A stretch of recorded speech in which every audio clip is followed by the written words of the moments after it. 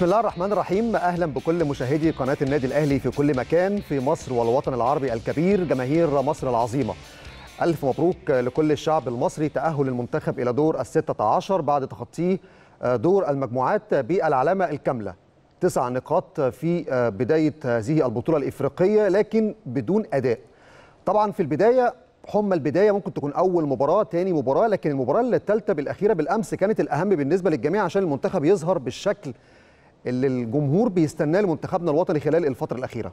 عموما هنتكلم عن بطولة إفريقيا وهنتكلم عن النادي الأهلي لكن طبعا النهارده حلقتنا حلقة فيها تفاصيل مهمة جدا متعلقة بمشوار المنتخب والمنتخب الأقرب لمواجهته في دور الستة عشر.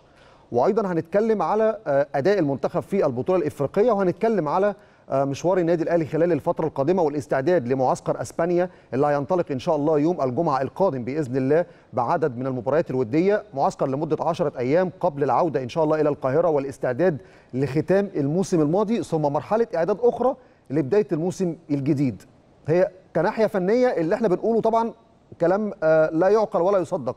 لكن ده حال الكرة المصرية وده أكيد هيبقى محور حديثنا النهارده في الفقرة الحوارية الأولى اللي هيشرفني فيها أحد مدربي النادي الأهلي السابقين ومدرب ليه باع طويل جدا في الدوري الممتاز والممتاز به كمان تحديدا الكابتن رمضان السيد.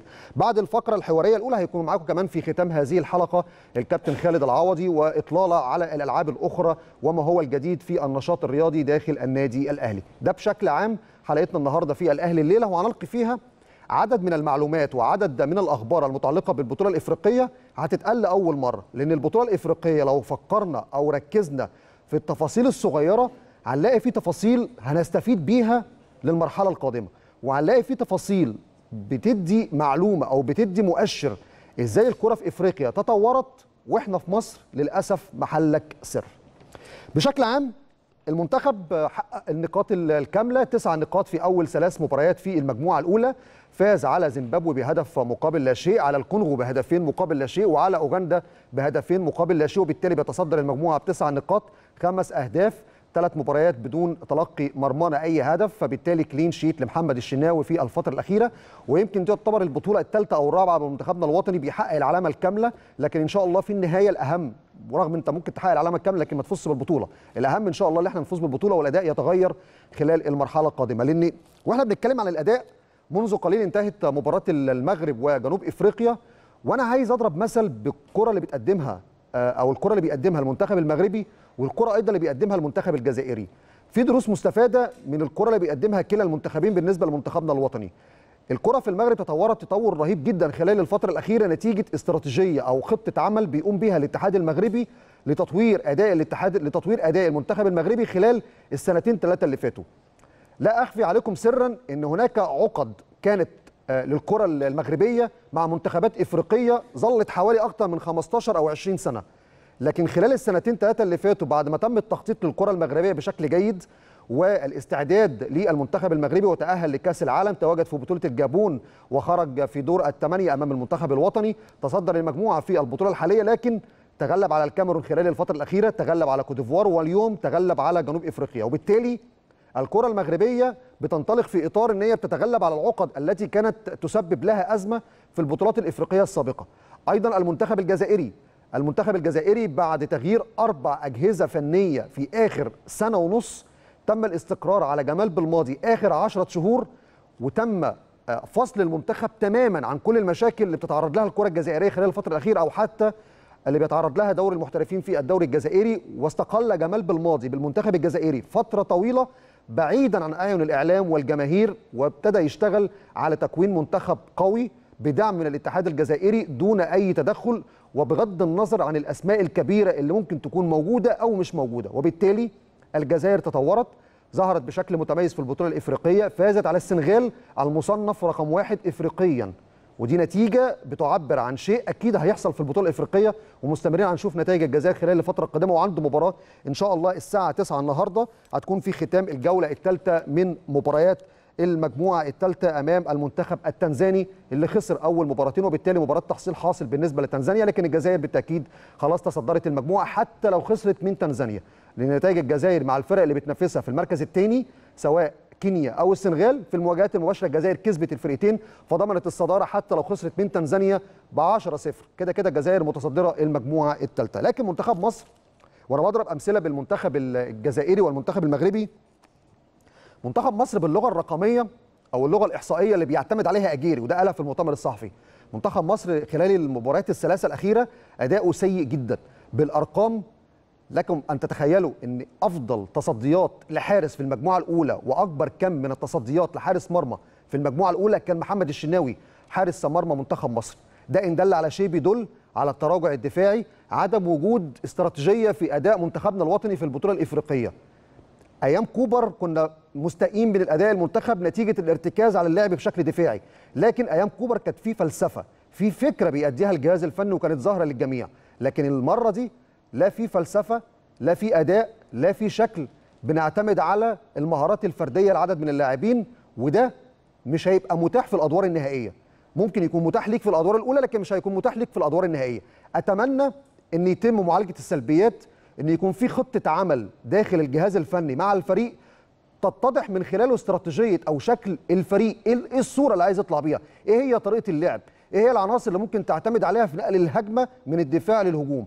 في اخطاء في الدفاع في اخطاء في التمركز في اخطاء في وسط الملعب حتى التحركات في الناحية الهجومية بتعتمد على مهارات فردية لتريزيجيه أو محمد صلاح. عبد الله السعيد ما جاش البطولة لسه لسه لم يظهر خالص عبد الله السعيد في البطولة. محمد النني أداء لم يتطور خلال الفترة الأخيرة. بشكل عام ننتظر من المنتخب خلال الفترة القادمة أداء يسعد الجماهير لأن البطولة هتبدأ بمستواها القوي بدءا من دور الثمانية. حتى هذه اللحظة بعد النتائج اللي ظهرت في المجموعة الأولى أو الثانية أو الرابعة ما اتضحش مين ممكن يواجه منتخب مصر في دور ال 16 في الوضع مع الوضع في الحسبان كمان إن طبعا مصر هتواجه ثالث المجموعة الثالثة أو ثالث المجموعة الرابعة أو ثالث المجموعة الخامسة. هنبدأ بالمجموعة الثالثة مجموعة السنغال الجزائر كينيا تنزانيا. إذا خسرت كينيا هتبقى في مشكلة في تحديد المركز الثالث لأن في نفس الوقت جنوب إفريقيا في المجموعة الرابعة أيضا ثلاث نقاط. فهتنتظر نتيجة مباريات المجموعة الخامسة غدا. ممكن أي فريق من دول اذا وصل لأربع نقاط سواء تونس أو أنجولا أو حتى مالي عندها أربع نقاط. أي فريق من دول إذا ظهر ثالث في المجموعة أو حتى موريتانيا ممكن يواجه منتخبنا الوطني إنه هنا هيكون عنده أفضلية بالمقارنة بنتائج كينيا أو نتائج جنوب إفريقيا في المجموعة الثالثة أو الرابعة. عموما المركز الثالث لسه لغاية اللحظة دي لم يتضح بشكل كبير حتى لباقي المنتخبات لأن المنتخب الوحيد اللي ثالث وبأربع نقاط هو المنتخب الغيني وتحدد بشكل كبير منتخب غينيا ممكن هيواجه منتخب المغرب في أولى مباريات دور ال 16 إن شاء الله يوم الجمعة القادم. بشكل عام ده شكل المنتخب خلال الفترة الأخيرة حتى التغييرات اللي تمت في المباراة الثالثه بالمقارنة بالمنتخبات الأخرى ما ظهرتش بشكل جيد. المنتخبات الأخرى استفادت بنتيجة المباراة الثالثه إن هي ريحت عدد من اللعيبة ودفعت بعدد آخر من اللعيبة. ده نسبة وتناسب هل استفدت بيها؟ هل ما استفدتش بيها؟ عموما عندنا أربع خمس أيام قبل مباراة يوم السبت في دور ال 16 هنشوف وجهة النظر وهنشوف الخطة الفترة القادمة. ممكن المنتخب يتغير أداؤه في دور ال 16 أو في الادوار النهائية ولا هيستمر بهذا الشكل اللي بالتأكيد هيواجه صعوبة كبيرة جدا في المرحلة القادمة في ظل إن خلاص شكل المجموعات أو شكل الطريق لدور الثمانيه ومن خلال دور ال 16 بيتضح. مصر في طريق نيجيريا. وغالبا إذا كانت الكاميرون أو غانا في مركز ثاني هيبقى الفائز بينهم هيواجه منتخب مصر في دور الثمانيه أيضا مصر إذا وصلت إن شاء الله لل semi-final دور الأربعة غالبا بشكل كبير أيضا في اتجاه منتخب المغرب لأن ده الإطار اللي بنشتغل بيه الفرق اللي ممكن هتروح مع بعض لغاية دور الأربعة. المغرب غينيا نيجيريا غانا أو الكاميرون ده الإطار فبالتالي هنا حجم المنافسة هيزداد قوة وهتزداد المنافسة بدءا من دور الثمانيه بعد تخطي إن شاء الله دور ال 16 ده بشكل عام الكلام عن بطولة إفريقيا. الكلام عن الأهلي إن شاء الله خلال الفترة القادمة زي ما قلت لكم الأهلي خلاص بيستعد لمعسكر أسبانيا خلاص خلال الفترة الأخيرة بينتهي من المرحلة الأولى لفترة الإعداد. لأن فترة الإعداد الجهاز الفني بقيادة مارتن لاسارتي قسمها لمجموعة مراحل منها إن هو بيختم الموسم الماضي بمباراتين أمام المقاولين العرب والزمالك فبالتالي عامل مرحلة معينة في فترة الإعداد الحالية. فترة الإعداد الحالية بتتطلب إن أنت تستعد في القاهرة 10 أيام وبتنهيها بمباراه ودية إن شاء الله هتكون يوم الأربعاء. لم يتحدد حتى هذه اللحظة من هو طرف المباراة الودية إن شاء الله اللي هياخدها الأهلي يوم الأربعاء على ملعب مختار التتش بالجزيره لكن يوم الجمعة مرحلة ثانية من الإعداد هتسافر أسبانيا. عندك ثلاث مباريات ودية ثم هتعود إن شاء الله يوم 16 من شهر يوليو الجاري عشان تستعد للأسبوع الأخير والمرحلة الأخيرة من الإعداد اللي هتخوض من خلالها آخر مباراتين في الدوري أمام المقاولين العرب وأمام نادي الزمالك يوم 26 أو 27 7 و30 7 في ختام الموسم. هنلعب ثلاث مباريات ودية في إسبانيا، مباراة يوم 7 مباراة يوم 11 ومباراة أخرى يوم 15 في تدرج في المستوى واختيارات بالتأكيد نابعة من فكر مارتن لاسارتي في هذه البطولة أو في هذه المباريات الودية عشان يقدر يجهز بالتشكيله الأمثل. عندنا مجموعة من الشباب موجودين في النادي الأهلي في الفترة الحالية في محمد عبد المنعم في ميشو عمارة في فادي فريد هشام شعبان في عدد كبير جدا. من مجموعة الشباب حوالي سبع لاعبين مع ال team الفريق الأول. خلاص موجود كمان حاليا علي معلول وليد أزارو جونيور أجاييه. كل ال team يعتبر موجود خلاص. عمار حمدي كمان أنهى فترة الإعارة مع نادي الاتحاد السكندري وحاليا موجود في معسكر النادي الأهلي وفي الاستعداد للموسم الجديد. فبالتالي النسبة وجود الفريق بالكامل نسبة 90% أو 85% لأن مش موجود خارج المعسكر غير الأربعة اللي موجودين في منتخبنا الوطني الأول بالإضافة إلى جيرالدو مع منتخب أنجولا. هنبدأ بفقرة الأخبار والنهارده كان في اجتماع للكابتن سيد عبد الحفيظ مع حسام عاشور وعمرو السولية وحسين الشحات اجتماع كان مع الثلاثي للحديث عن المرحلة القادمة ومتطلبات المرحلة القادمة والاستعداد للموسم الجديد. والفترة الحالية الكابتن سيد بيتميز بفكرة إن هو تجميع اللعيبة وتحفيز اللعيبة وخلق دوافع للمرحلة القادمة وبالذات لما يكون اجتماع مع نجوم الفريق زي حسام عاشور وعمرو السولية وحسين الشحات. بالتأكيد اجتماع حديث عن المرحلة القادمة والاستعداد للموسم الجديد وقبل السفر لأسبانيا إن شاء الله لا يتخللوا ثلاث مباريات ودية إن شاء الله زي ما لكم خلال المرحلة القادمة. بالإضافة لده كان في اجتماع مهم النهارده لمارتن لاسارتي أيضا مع لاعبي النادي الأهلي على هامش المران. هذا الاجتماع شهد الحديث على الوحدات التدريبية أو الفترة الحالية في تدريب على فترتين وهيختموا مباراة ودية إن شاء الله يوم الأربعاء فدايما الجهاز الفني لازم يجتمع مع اللعيبة يقول لهم المرحلة القادمة هنستعد إزاي؟ الوحدات التدريبية اللي ممكن الفريق ياخدها كناحية بدنية أو ناحية فنية هتبقى في الإطار إيه؟ ممكن الجهاز الفني كمان يجتمع مع اللعيبة بعد نهاية المران داخل غرفة خلع الملابس. بيتكلم عن المران المسائي اللي هيبقى متاح فيه. ممكن يكون في محاضرات نظرية لو في تصوير في التدريبات. وخلال السكاوتنج اللي بيتم من محلل الأداء لعرض أداء عدد من اللاعبين في التدريب ده كله بيتم في فترة الإعداد عشان تحضر للموسم الجديد لأن فترة الإعداد هو الموسم اللي من خلاله أو ده البداية اللي بتبني عليها الأساس للموسم الجديد أو الموسم اللي هيبقى موسم طويل جدا. هيبدأ بنهاية الدوري. ثم يستكمل بعد كده بمباريات كأس الموسم الماضي ثم مباراة السوبر الموسم الماضي ثم ينطلق الدوري وبطولة إفريقيا إن شاء الله في منتصف سبتمبر في نهاية هذا العام إن شاء الله للموسم الجديد اللي هيستمر إن شاء الله حتى شهر 6 موسم دوري محلي وموسم إفريقي وعدد من البطولات اللي النادي الأهلي إن شاء الله هيشارك فيها خلال الفترة القادمة. النهارده الكابتن طارق سليمان أيضا مدرب الحراس يمكن بيطمئن على مستوى الحراس اللي معاه مع علي لطفي أيضا شريف اكرامي كان عمل عملية جراحية وخلاص خلال الفترة القادمة بيتم الاطمئنان عليه عشان يبدأ يشارك مع الفريق وهيكون موجود مع الفريق إن شاء الله في معسكر أسبانيا.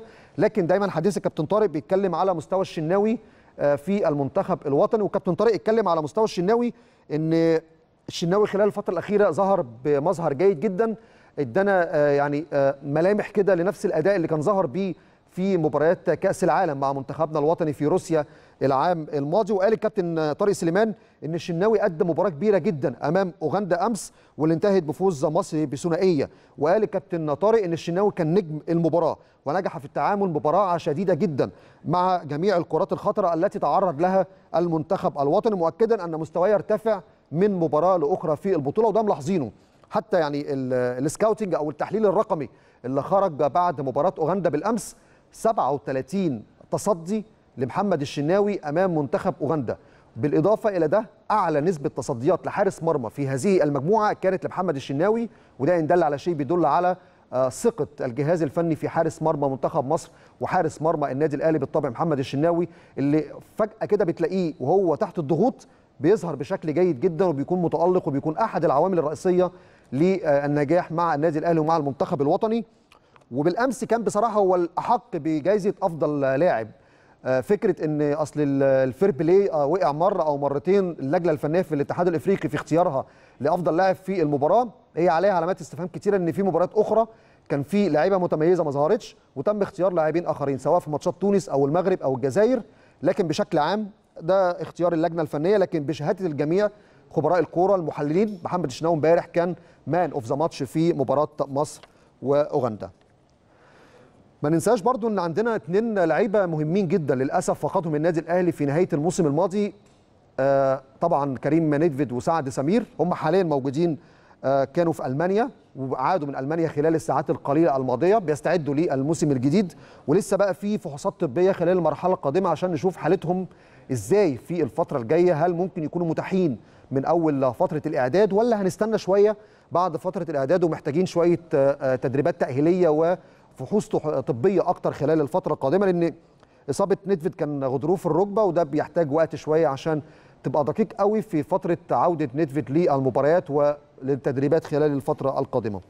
عمار حمدي بعد نهاية الإعارة في الاتحاد السكندري الحمد لله يمكن ظهر بشكل متميز جدا مع نادي الاتحاد ومن اللعيبة المعارة اللي ظهرت بشكل متميز في الدوري المصري السنة دي عاد لتدريبات فريق النادي الأهلي وخلاص انسجم مع الفريق الأول في الفترة القادمة والجهاز الفني فضل أن يكون عمار موجود مع معسكر مع الفريق في معسكر في أسبانيا. يبدأ ينخرط بقى في تدريبات الفريق ويبدأ يستعد للموسم الجديد. هيكون على ذمة الفريق الأول في المرحلة القادمة. لسه ملف المعارين خلال الفترة القادمة مين هيستمر مين هيكمل إعارته لم يتضح وده مش بإيد النادي الأهلي. يعني ده للأسف قرار النادي الأهلي منتظره من الناس القائمين على إدارة الكرة في مصر من اتحاد الكورة. مسابقة مواليد 97 إيه وضعها؟ قائمة الشباب الخمس لاعبين تحت السن وضعهم إيه في الفريق الأول؟ هل المعارين عدد المعارين هيتم تحديده بعدد معين ولا هيكون مفتوح؟ أيضا كمان القايمة هنستمر ب 30 ولا 25 في تسريبات طالعه إن هيبقى يتم الاستفادة من لاعب محلي خلال الفترة القادمة. كل الأمور دي الجهاز الفني ما يعلمش عنها حاجة لغاية اللحظة دي فبالتالي قدر الإمكان بيحاول يضم كل اللعيبة لغاية لما يشوف الموسم الجاي اللائحة هتقول إيه والاتحاد هيستعد إزاي بالنسبة لكل اللاعبين. طيب أروح بسرعة لزميلي شريف شعبان مراسل قناة النادي الأهلي. في تدريب دلوقتي في نطمن منه آخر أخبار النادي الأهلي حالة الفريق. هل اتضح مين اللي هيلعبوا الأهلي في المباراة الودية يوم الأربعاء؟ كل التفاصيل دي هنعرفها من زميلنا شريف شعبان. شريف مساء الخير عليك. أخبارك؟ وطمني عليك.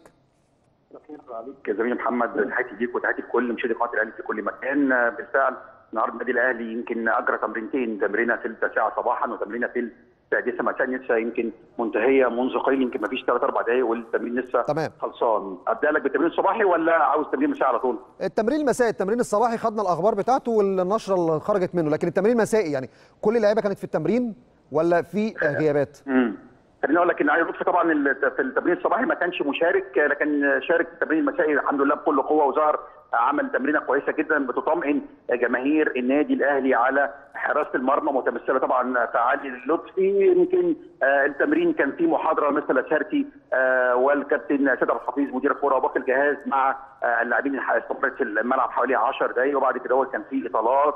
ثم ثلاث تقسيمات ثلاث مجاميع وعمل تقسيمات صغيرة كان مستر لاسارتي وكابتن محمد يوسف وكابتن سامي قمصان حريصين كل الحرص إن هم يصلحوا الأخطاء اللي بيقع فيها اللاعبين أول بأول. يمكن كان حسين السيد النهارده ظهور ليه شارك في جزء من التمرين وعمل بعد كده تمرينات بدنيه على الجانب الآخر مؤمن زكريا ما زال في مرحلة التأهيل. عمار أيضا النهارده برده كان بيجري تدريبات بدنية. يمكن كريم نثبت النهارده حضر للنادي وعمل عملية التأهيل في الجيم. يمكن في آخر التمرين كده كان في كدمة لأحمد علاء ما قدرش يكمل التمرين ولكن سألت الدكتور قال لي الكدمة خفيفة وبكرة بإذن الله موجود في التمرين. وحبيت أقول لك على برنامج النادي الأهلي في الفترة المقبلة بكرة هيكون في فترة واحدة بس تمرين في السادسة مساء يوم الأربعاء هيكون في ودية لسه اسم الفريق ما اتقالش لأن الأهلي بيفاضل بين ثلاث فرق فلسه هيعلن النهارده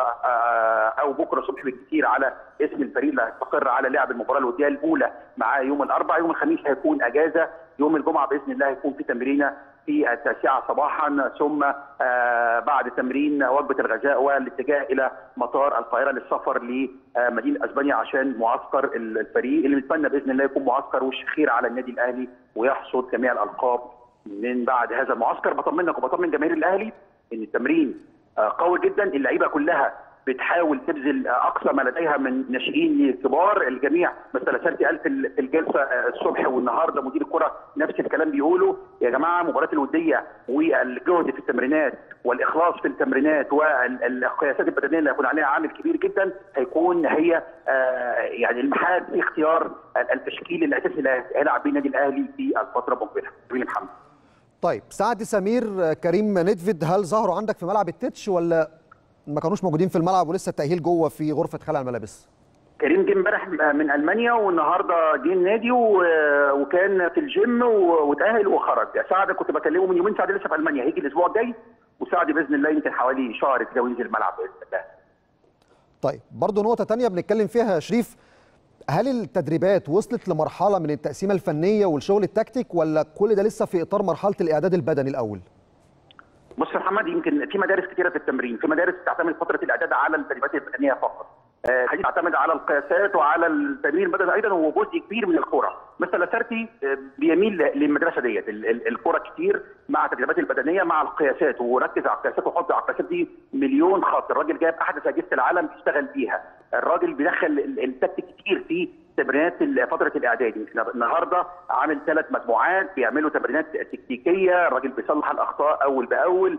لا الراجل بيميل للمدرسة اللي بتدخل الكورة فترة الاعداد فبادئ أول تكتيك بدري قوي وقايل اللي هيلتزم واللي هيأدي واللي هينجح في القياسات هيكون ليه دور معايا الفترة المقبلة إذا كان ناشئ أو لاعب كبير. فالكل بيجتهد الكل بيحاول يظهر قدراته للمدير الفني عشان ينال الثقة ويكون ليه دور في الفترة المقبلة في اختياره في التشكيل. بس دخل في تدريبات الكورة خلاص وصل للمرحلة تدريبات الكورة. يمكن هو يوم واحد أو يومين في الفترة دي كلها ما كانش فيها كورة بقيه الأيام كلها فيها تدريبات بدنية وكورة. ما بقول لك الراجل بيميل لمدرسة المدرسة اللي بتميل للكورة أكتر. تعرف لعيب الكورة في العالم كله مش في مصر بس بيميل من التدريبات البدنية فقط. تمرينات الكورة ممكن تكون احمالها عالية جدا ولكن مع المرح بتاع اللاعبين في التمرينات فممكن ما يحسش بالمجهود اللي ممكن يعمله غير بعد انتهاء التمرين. الراجل بيميل لمدرسة الكورة وفعلا بالفعل يمكن من فتره الاعداد كلها ما كانش فيها كورة لكن باقي الأيام كلها وبما فيهم النهارده كان فيها كورة كتير. تمام. مجموعه الشباب والناشئين موجودين في التدريبات كلهم ظاهرين بشكل جيد لأن الكابتن سامي عبد الحفيظ مدير الكرة امبارح كان ليه تصريح مهم جدا. بخصوص مجموعة الشباب ظاهرين بشكل متميز ومارتن لاسارتي معجب جدا بوجود الشباب في التدريبات الفريق الأول وهيبقى لهم دور كمان في معسكر أسبانيا. معايا محمد سامعني؟ معاك يا شريف سامعني؟ آه آه أنا كده سامعك. آه مجموعة الشباب ظاهرة بمستوى رائع جدا. خليني أقول لك إن هيكون بعد قليل في برنامج ملك الكتابة هيكون في لقاءات حصرية مع لاعبي الشباب النادي الأهلي اللي, اللي طبعا متصاعدين مع الفريق الأول. آه عددهم كبير. آه لافتين الأنظار بشدة كبيرة جدا. يمكن النهارده مثلا هشام شعبان بيحرز هدف عالمي العربي بيعمل اسيست عالمي. لا اللعيبة آه تحس إن قطاع النادي الأهلي آه قطاع الناشئين مليان بالمواهب مليان بالحاجات اللي الجماهير بتحبها. مهارة قوة سرعة. بطمنك الناس لسه كلها نظر مثل لاسارتي وبدأ يفكر فيهم بجدية إن يبقى يعتمد عليهم فترة مقبلة وبإذن الله يعملوا الفارق مع النادي الأهلي فترة مقبلة بإذن الله. زميلنا شريف شعبان مراسل قناة النادي الأهلي بشكرك شكرا جزيلا على كل هذه الأخبار والمعلومات. أطلعتنا على تفاصيل كتيرة جدا متعلقة بتدريبات فريق النادي الأهلي والكل طبعا متشوق إن يشوف فريق النادي الأهلي في مباراة ودية يوم الأربعاء. رغم الانشغال بالبطولة الإفريقية لكن جمهور النادي الأهلي دايما كده على ال social media تلاحظ إن في ظل انشغال الجميع بالمنتخب والبطولة الإفريقية يقول لك 90 دقيقة بس حتى ولو شوط أتفرج على النادي الأهلي. فإن شاء الله يوم الأربعاء في مباراة ودية كلنا متشوقين نشوف النادي الأهلي بيستعد إزاي للموسم الجديد. لكن وأنا بختم الحديث على الأهلي وقبل ما أخش على البطولة الإفريقية وأخبار كان 2019 في مصر في حاجة مهمة جدا قالها الدكتور طه إسماعيل رئيس لجنة التخطيط بخصوص الموسم الجديد بعد الاجتماع مع مارتن لاسارتي. ويمكن الجمهور يمكن ما عندوش التفاصيل الصغيرة اللي ممكن إحنا دورنا اللي إحنا نوضحها للناس. لما اتكلم على إن المرحلة القادمة بتتكلم إنك ممكن تجيب صفقة أو اتنين لتدعيم الموسم الجديد الجمهور كان قال لك إن إحنا ممكن نجيب أكبر من كده بكتير أو محتاجين لعيبه أكتر من كده. يا جماعة الفكرة إن النادي الأهلي حتى هذه اللحظة معاه قايمة 30 لعيب عنده خمسة تحت السن. في مجموعة من الشباب المتميزين مواليد 97 سبع ثمان لاعبين بيتمرنوا مع الفريق الأول بالإضافة إلى المعارين اللي موجودين في الخارج. أحمد حمدي أحمد ياسر ريان عمار حمدي حسين السيد الموجود في الدوري السعودي. فبتتكلم في قائمه ممكن تصل إلى 40 لاعب. النادي الأهلي هيتعامل مع الموسم الجديد إزاي؟ والصفقات إزاي؟ وهو لغاية اللحظة دي ما عندوش ورقة رسمية. من اتحاد الكره بتقول له أنت الموسم الجاي عندك 30 ولا 25 عندك مسابقة مواليد 97 ولا ما عندكش مواليد 97 عندك المعارين هتحددهم بعدد ولا هتبقى مفتوحة؟ عندك الأجانب هيقللوا ولا هيزيدهم؟ فبالتالي الجهاز الفني لما بيفكر في المرحلة القادمة بيفكر في الإطار المتاح في الفترة الحالية. أول ما كل التفاصيل دي تعلن الأهلي أكيد واخد أكتر من اتجاه للمرحلة القادمة وبيسير في أكتر من اتجاه وعنده أكتر من خطة سواء زادت القايمة أو قلت أو نقصت سواء المعارين زادوا أو قلوا أو اتلغت تمام؟ سواء الأجانب زادوا أو اتفتح لاعب في شمال إفريقيا. كل الأمور دي لما تتضح هيبقى الجهاز الفني عنده رؤية للمرحلة القادمة. فالجمهور بس التفاصيل الصغيرة اللي بيبقى النادي الآهلي غير مسؤول عنها لازم الجمهور يعرف المشكلة جاية منين. فبالتالي فكرة صفقة أو اتنين أو ثلاثة مش شرط كل ما يعلن بيكون هو اللي هيبقى رسمي. لكن في إطار مهم جدا. أنت عندك قائمه دلوقتي فيها 40 أو 45 لاعب بعدد الأجانب وعدد المعارين وعدد اللاعبين الشباب. هتعامل إزاي مع صفقات ولسه اتحاد الكرة لغاية اللحظة دي؟ ما قاليش الموسم الجاي هيمشي إزاي. لما نعرف أكيد النادي الأهلي عنده استراتيجية وهيحدد المرحلة الجاية هتمشي إزاي بالنسبة للمعارين أو الأجانب أو حتى الاهليين أو الشباب أو مسابقة 97 اللي هتحل كل الأزمة دي إذا استمرت للموسم القادم لانها لازم تستمر لأن إحنا عندنا أولمبياد طوكيو 2020 والمنتخب الأولمبي من مصلحته إن مسابقة 97 تستمر لكل الأندية. طيب نخش على أخبار المنتخب بسرعة لأن أكيد هنطلع فاصل ونستقبل بعد الفاصل الكابتن رمضان السيد. النهارده كان في مؤتمر صحفي للمدير التنفيذي للجنة المنظمة لبطولة الأمم الكابتن محمد فضل اتكلم فيها على إن عمل اللجنة منذ اليوم الأول كان لديهم رغبة شديدة جدا إن البطولة دي تنجح وتكون على غرار تنظيم روسيا لكأس العالم وإن تكون البطولة القارية دي بطولة قارية بتنظمها مصر لكن بنكهة عالمية. ده ظهر في إطار شكل الملاعب، شكل تنظيم الجمهور، system الالكتروني لموقع تذكرتي بخصوص ال Fan ID ده شيء مميز جدا وحتى لو هناك سلبيات بسيطة أكيد بتعالج الفترة القادمة لكن الاتحاد الإفريقي اللجنة المنظمة كل سعيد جدا بالتنظيم حتى وسائل الاعلام العربية أو حتى الإفريقية أو العالمية.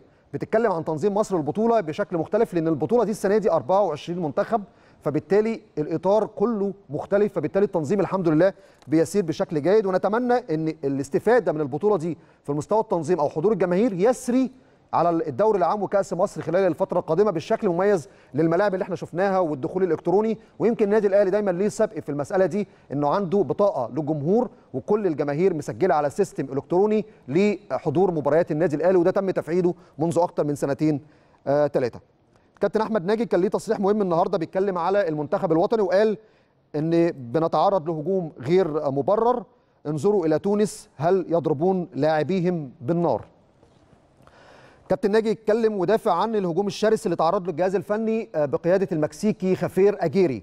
وقال كابتن ناجي النهارده نتعرض لهجوم غير مبرر انظروا إلى نتائج المنتخب التونسي. المنتخب تأهل من مجموعة لم تكن سهلة كما تخيلها البعض. كل المنتخبات الإفريقية مستوياتها تغيرت خلال الفترة الأخيرة وده شاهدناه بعد ما تصدر منتخب مدغشقر المجموعة الثانية على حساب المنتخب النيجيري. طبعا الكابتن ناجي بيربط ده بأداء المنتخب التونسي، طبعا تونس في البطولة الإفريقية مش ظاهرة بشكل كويس وبالمناسبة على فكرة يمكن أعلى فرقتين في التصنيف الإفريقي السنغال وتونس، السنغال أول وتونس ثاني. السنغال لم تظهر بالشكل اللائق بمستواها وبالنجوم اللي فيها وتونس أيضا المصنف الثاني في المنتخبات الإفريقية على مستوى العالم. حتى هذه اللحظة لم تظهر وفرصة تأهلها حتى هذه اللحظة غير مؤكدة في ظل إن تونس لم تحصد سوى نقطتين بالتعادل مع مالي وأنجولا في المجموعة الخامسة. طيب أحمد حسن كوكا كان تعرض بالأمس لكدمه في مباراة مباراة أوغندا دكتور المنتخب الوطني النهارده اتكلم دكتور محمد أبو العلا اتكلم على إصابة كوكا قال كدمة قوية في الكاحل لكن إن شاء الله بالكتير قوي يعني أسبوع لكن إن شاء الله بإذن الله في مساعي إنه يكون جاهز وحاضر في مباراة الدور 16 إن شاء الله يوم السبت القادم أنا النهارده سمعت دكتور محمد أبو العلا لم يؤكد غيابه لكن أنا سمعته النهارده في تصريحات تلفزيونية قال فرصة وجوده أو من عدمها لسه لم تتضح لكن قدر الامكان الجهاز الفني أو الجهاز الطبي للمنتخب هيشتغل على إن كوكا يكون حاضر مباراة دور ال 16 إن شاء الله يوم السبت القادم. طيب أحمد حجازي يمكن كلنا شفناه بعد المباراة الأولى بعد ما تعرض لكسر في الأنف وشفنا نزيف في الأنف بشكل قوي جدا يمكن ركب واقي للأنف في مباراة الثانية أمام الكونغو لكن بالأمس ما كانش مركب الواقي وقال إن الحمد لله حالتي بقت أفضل والجهاز الطبي كمان سمح له إنه يلعب بدون الواقي لأن خلاص يعني حالته بقت أفضل وحتى أحمد حجازي كان اعتذر لدكتور محمد أبو العيلة بعد المشهد اللي حصل في المباراة الأولى لأن دكتور محمد كان رفض إن حجازي يكمل نتيجة إن الكسر ده ممكن يكون كسر مضاعف وكان يفضل إن حجازي يخرج لكن حجازي كمل المباراة واعتذر حتى لطبيب المنتخب لأن طبيب المنتخب بالتأكيد ليه الكلمة العليا في مسألة إصابة أو استكمال أي لاعب كناحية طبية لكن إن شاء الله الحمد لله حجازي ماشي بشكل كويس بالبطولة ولعب بشكل متميز وكان ظاهر الحمد لله بشكل متميز جدا وإن شاء الله يكمل البطولة مع منتخبنا الوطني ان حجازي من الركائز الأساسية في منتخب مصر. صحف العالم بقى وده مهم جدا بالنسبة لنا يعني لما بنتابع الصحف العالمية إيه اللي بتكتب عن البطولة بيهمنا حاجتين رأيها في التنظيم وصورة مصر في تنظيم البطولة والمنتخب الوطني.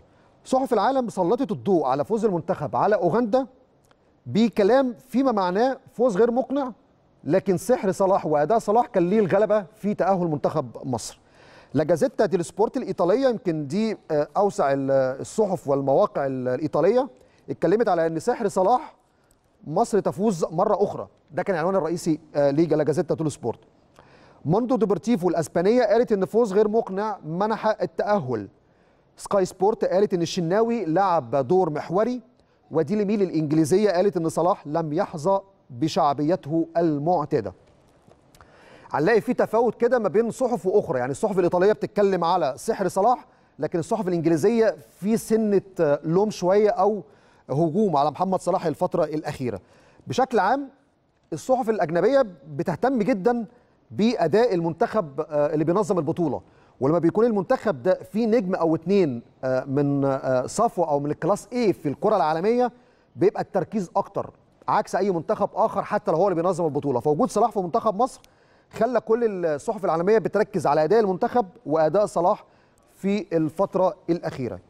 ديلي ميل البريطانية اتكلمت على إن لم يحظى صلاح بشعبيته المعتادة بين بعض الجماهير المصرية ربما لأول مرة بسبب موقفه من زميله عمرو وردة. ديلي ميل قالت أيضا ما قالت إليه نتيجة اللقاء من فوز لمصر بهدفين دون رد سجل صلاح بعد أن تغلب على دينيس أونيانجو حارس مرمى فريق أوغندا.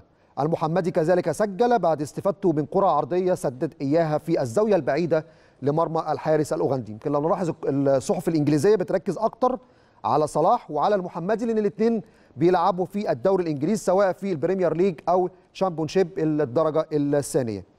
لا جازيتا ديلو سبورت عنونت على صدر موقعها سحر صلاح مصر تفوز مرة أخرى وقالت الجريدة الإيطالية إن صلاح نجم لمصر على نحو متزايد. أصحاب الأرض تمكنوا من تحقيق فوز كبير. آخر خبر معايا مدرب أنجولا بيتكلم عنه بيخشى الضغط الجماهيري قبل مواجهة مالي نتائج أنجولا في البطولة ليست على ما يرام لابد أن تحرز انتصار على المنتخب المالي لكي تتأهل لأن المجموعة دي معقدة. مالي عندها أربع نقاط. تونس نقطتين أنجولا نقطتين ومالي وأنجولا مباراة صعبة جدا لكن تونس يكفيها الانتصار وإذا انتصرت وتعادلت مالي ممكن تونس تتصدر هذه المجموعة. بشكل عام دي كانت أخبارنا عن بطولة إفريقيا بطولة الامم اللي بتنظمها مصر وأخبار النادي الأهلي. لكن بقى إطلالة أكتر عن كل هذه الأخبار وتفاصيل أكتر مع نجمنا الكابتن رمضان السيد. لكن بعد الفاصل انتظرونا. طيب أروح بسرعة لزميلي شريف شعبان. مراسل قناه النادي الأهلي في تدريب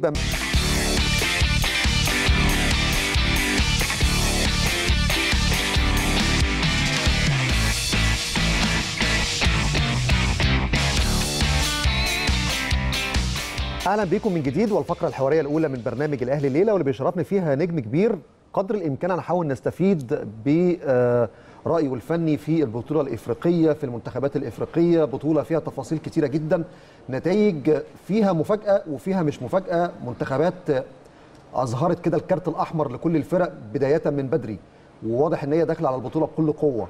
المنتخب المغربي زي ما قلت لكم من شوية فاز بالثلاث مباريات تسع نقاط وداخل بقوة في البطولة الإفريقية وأيضا المنتخب الجزائري والمنتخب الكاميروني. هنشوف المرحلة القادمة إزاي هتبقى في البطولة الإفريقية.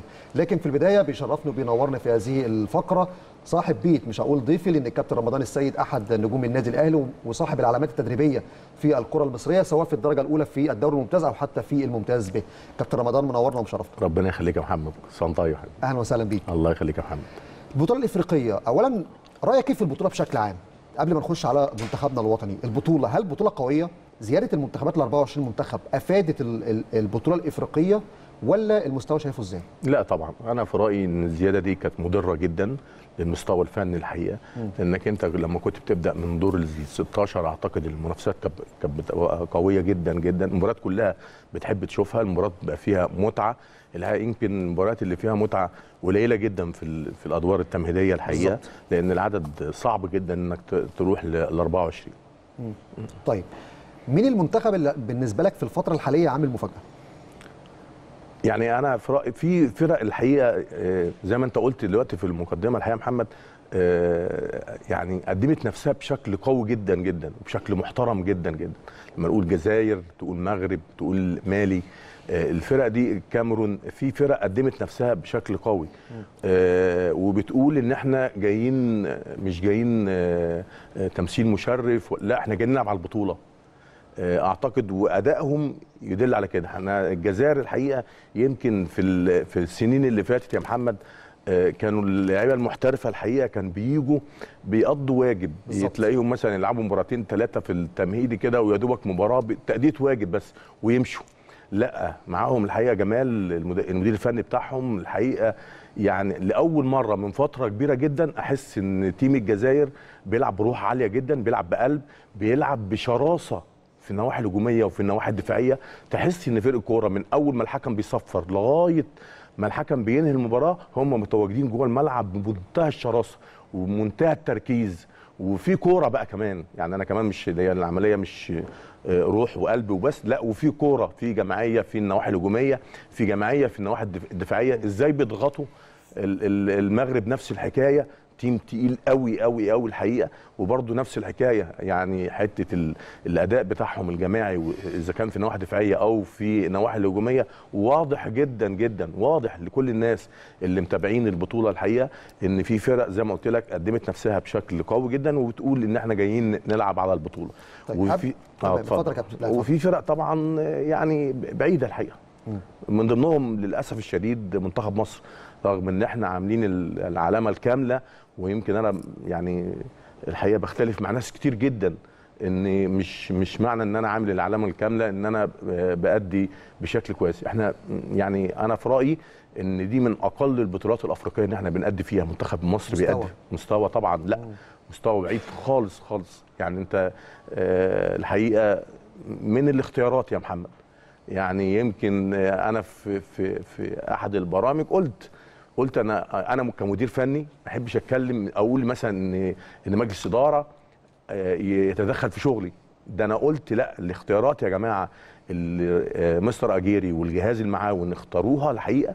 لأ القايمة كانت صعبة جدا جدا جدا. وقلنا كده قبل المباراة ما تتلعب. يعني أنا مكشوفه قوي كانت واضحة قوي واضحة. آه. يعني مش مثلا بنقول مثلا بعد ما شفنا. لأ ده إحنا قلنا كده آه. قبل المباراة ما بتلعب لدرجة إن أنا قلت إيه؟ قلت أنا بطالب اتحاد الكورة إن يتدخل. في الاختيارات دي.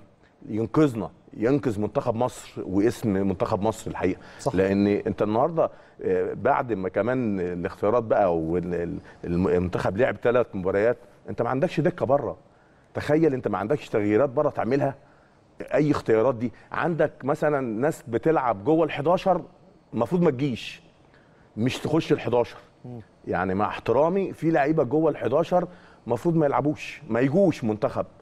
فلا يعني إحنا أنا بقول آه، رغم ان إحنا آه تسعة point لكن ده انت و clean sheet. آه و clean sheet وكل حاجة لكن الأمور صعبة صعبة جدا جدا في الأدوار ال- اللي جاية. انت ممكن مثلا دور ال 16 لأنك انت هتلاعب ثالث المجموعة الثالثه أو الرابعة. مش عايز أتضح لغاية دلوقتي. آه لغاية دلوقتي مش مش مش, عارفين. مش هو يعني كان مفيش منتخب جاب أربع نقط من كان النهارده بس. لو جنوب أفريقيا كان عمل تعادل مع كان مع المغرب. كان إحنا كان هو ده اللي كان هنلعبه لأن كينيا صعب تعمل نتيجة إيجابية مع السنغال طبعا آه. آه. طبعا لأن السنغال ما, ما عندهاش بدايل لازم تكسب. السنغال لو ما كسبتش هتبقى في خطورة آه. فهو مش مش معروف إحنا هنلاعب مين لكن أنا بتكلم حتى أنت لو عديت حتى دور ال آه، 16 الحقيقة البطولة تبدأ من دور الثمانيه آه، بالظبط كده هتلاقي بقى دور الثمانيه ما فيهاش هزار دور الثمانيه آه، ال- الفريق اللي هو تعدي صح الفريق اللي عمل تكوين صح للمنتخب بتاعه الفريق اللي بيأدي كرة جماعية في النواحي الدفاعية والنواحي الهجومية هو ده الفريق الفرقة اللي هتكمل.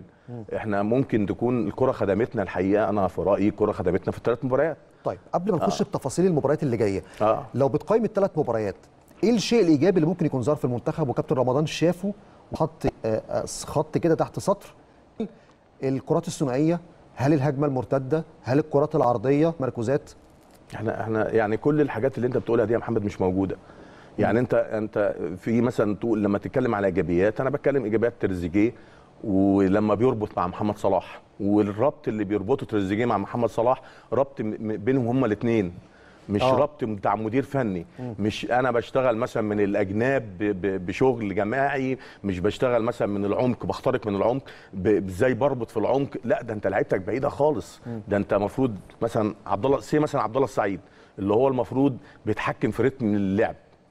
آه، آه، عبد الله السعيد بيتحرك في 30 ياردة. يعني يا دوبك 20 ياردة آه، قبل المدافعين.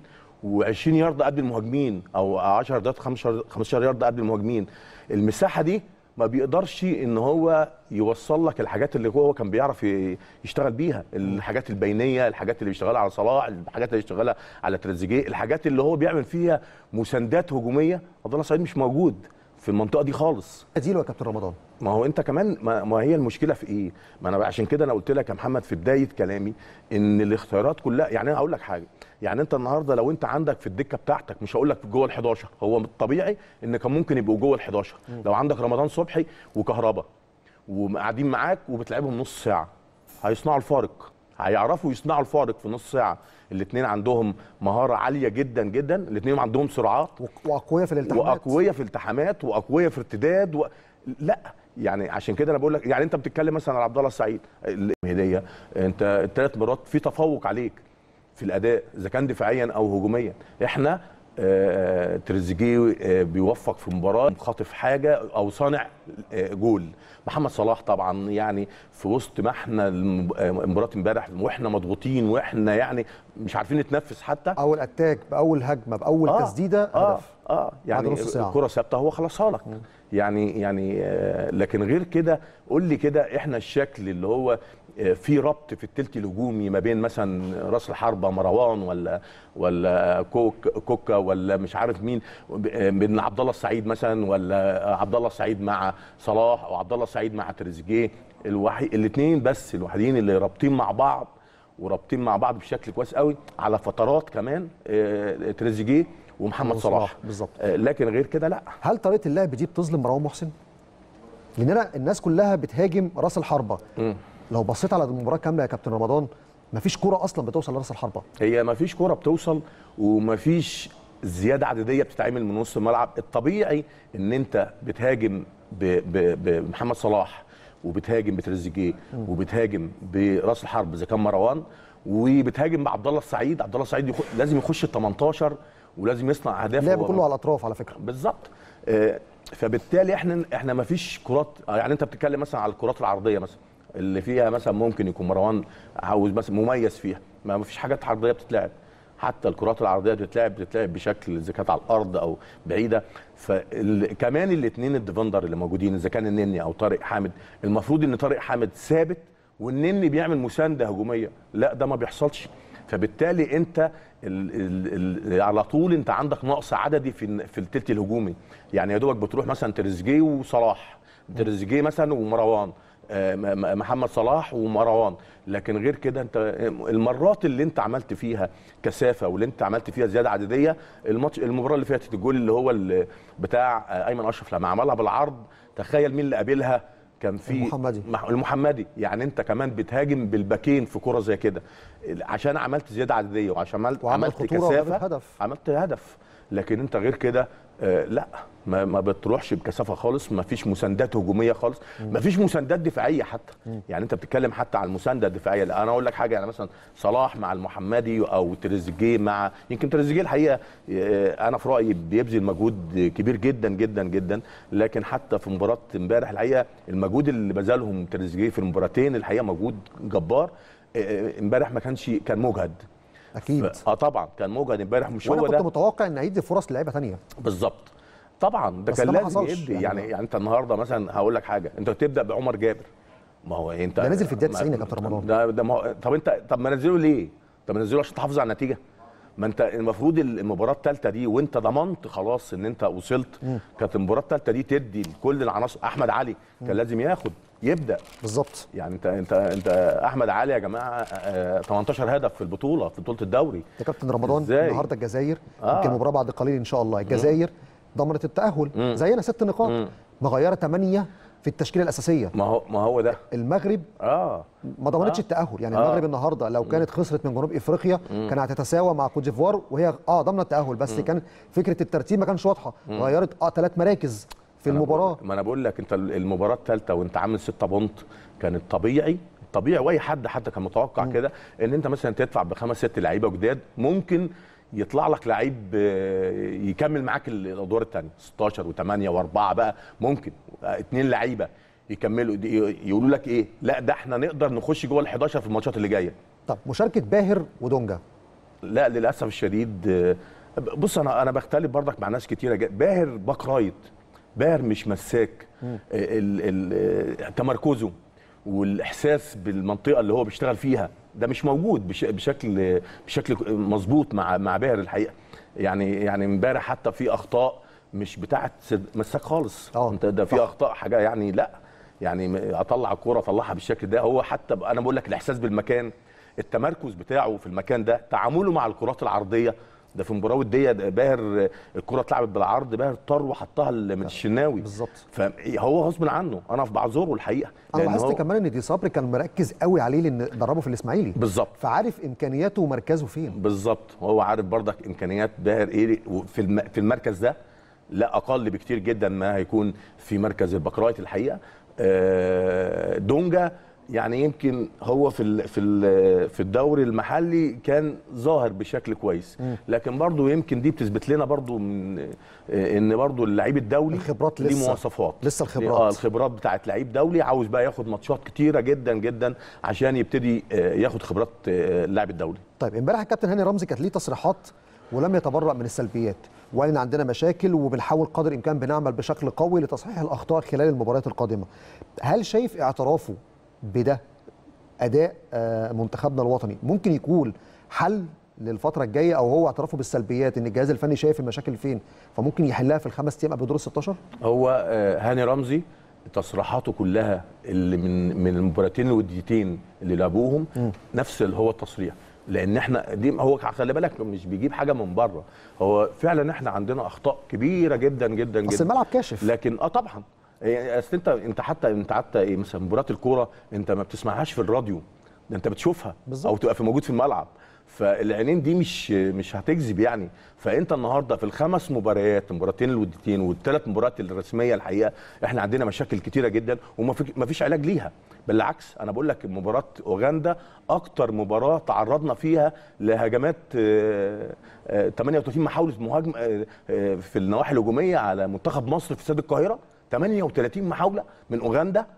ده كتير قوي قوي. وكان أعلى نسبة تصديات لحارس في المجموعة كان حارس آه. منتخب مصر. يعني يعني تيجي إزاي؟ أنا بقول لك لأ. الناس دول يعني بصراحة في ال... يعني ربنا يسترها في الفترة اللي جاية. لكن هم عندهم فرصة على فكرة في الخمس أيام اللي جايين دول. أيوه. يعني يشتغلوا فيها. إزاي بقى يا كابتن؟ آه يعني يعني يش- يفرجوا اللعيبة بتاعتهم على الفرق اللي- المنافسة. الراجل يشرح لهم سلبيات وإيجابيات.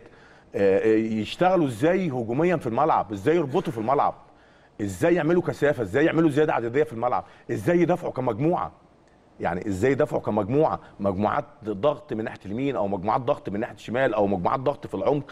إزاي تمركز سردباكين إزاي المساندة بتاعه آه، النني وطارق حامد مع الاثنين السردباكين الحقيقة. لأن أنت النهارده أي حد بيعمل آه، بيعمل 1 2 أو يخترق مثلا 10 ياردات بالكورة بتلاقيه رايح على على حجازي ورايح على محمود علاء. بيلعب في في لعيب بيلعب من تحت النني وطارق على الاثنين المساكين عندنا. بالظبط. محدش بينزل معاه. ما حدش بينزل معاه. وزي ما قلت لك إن أنت عندك نص ملعب فاضي لأنك أنت المس... ال... ال... الشكل الدفاعي كمجموعة مش موجود. م. انت اللي بيدافع بيدافع عندك فردي. وفردي دي خلاص ده انت بمنتهى السهولة أي حد يخترقك.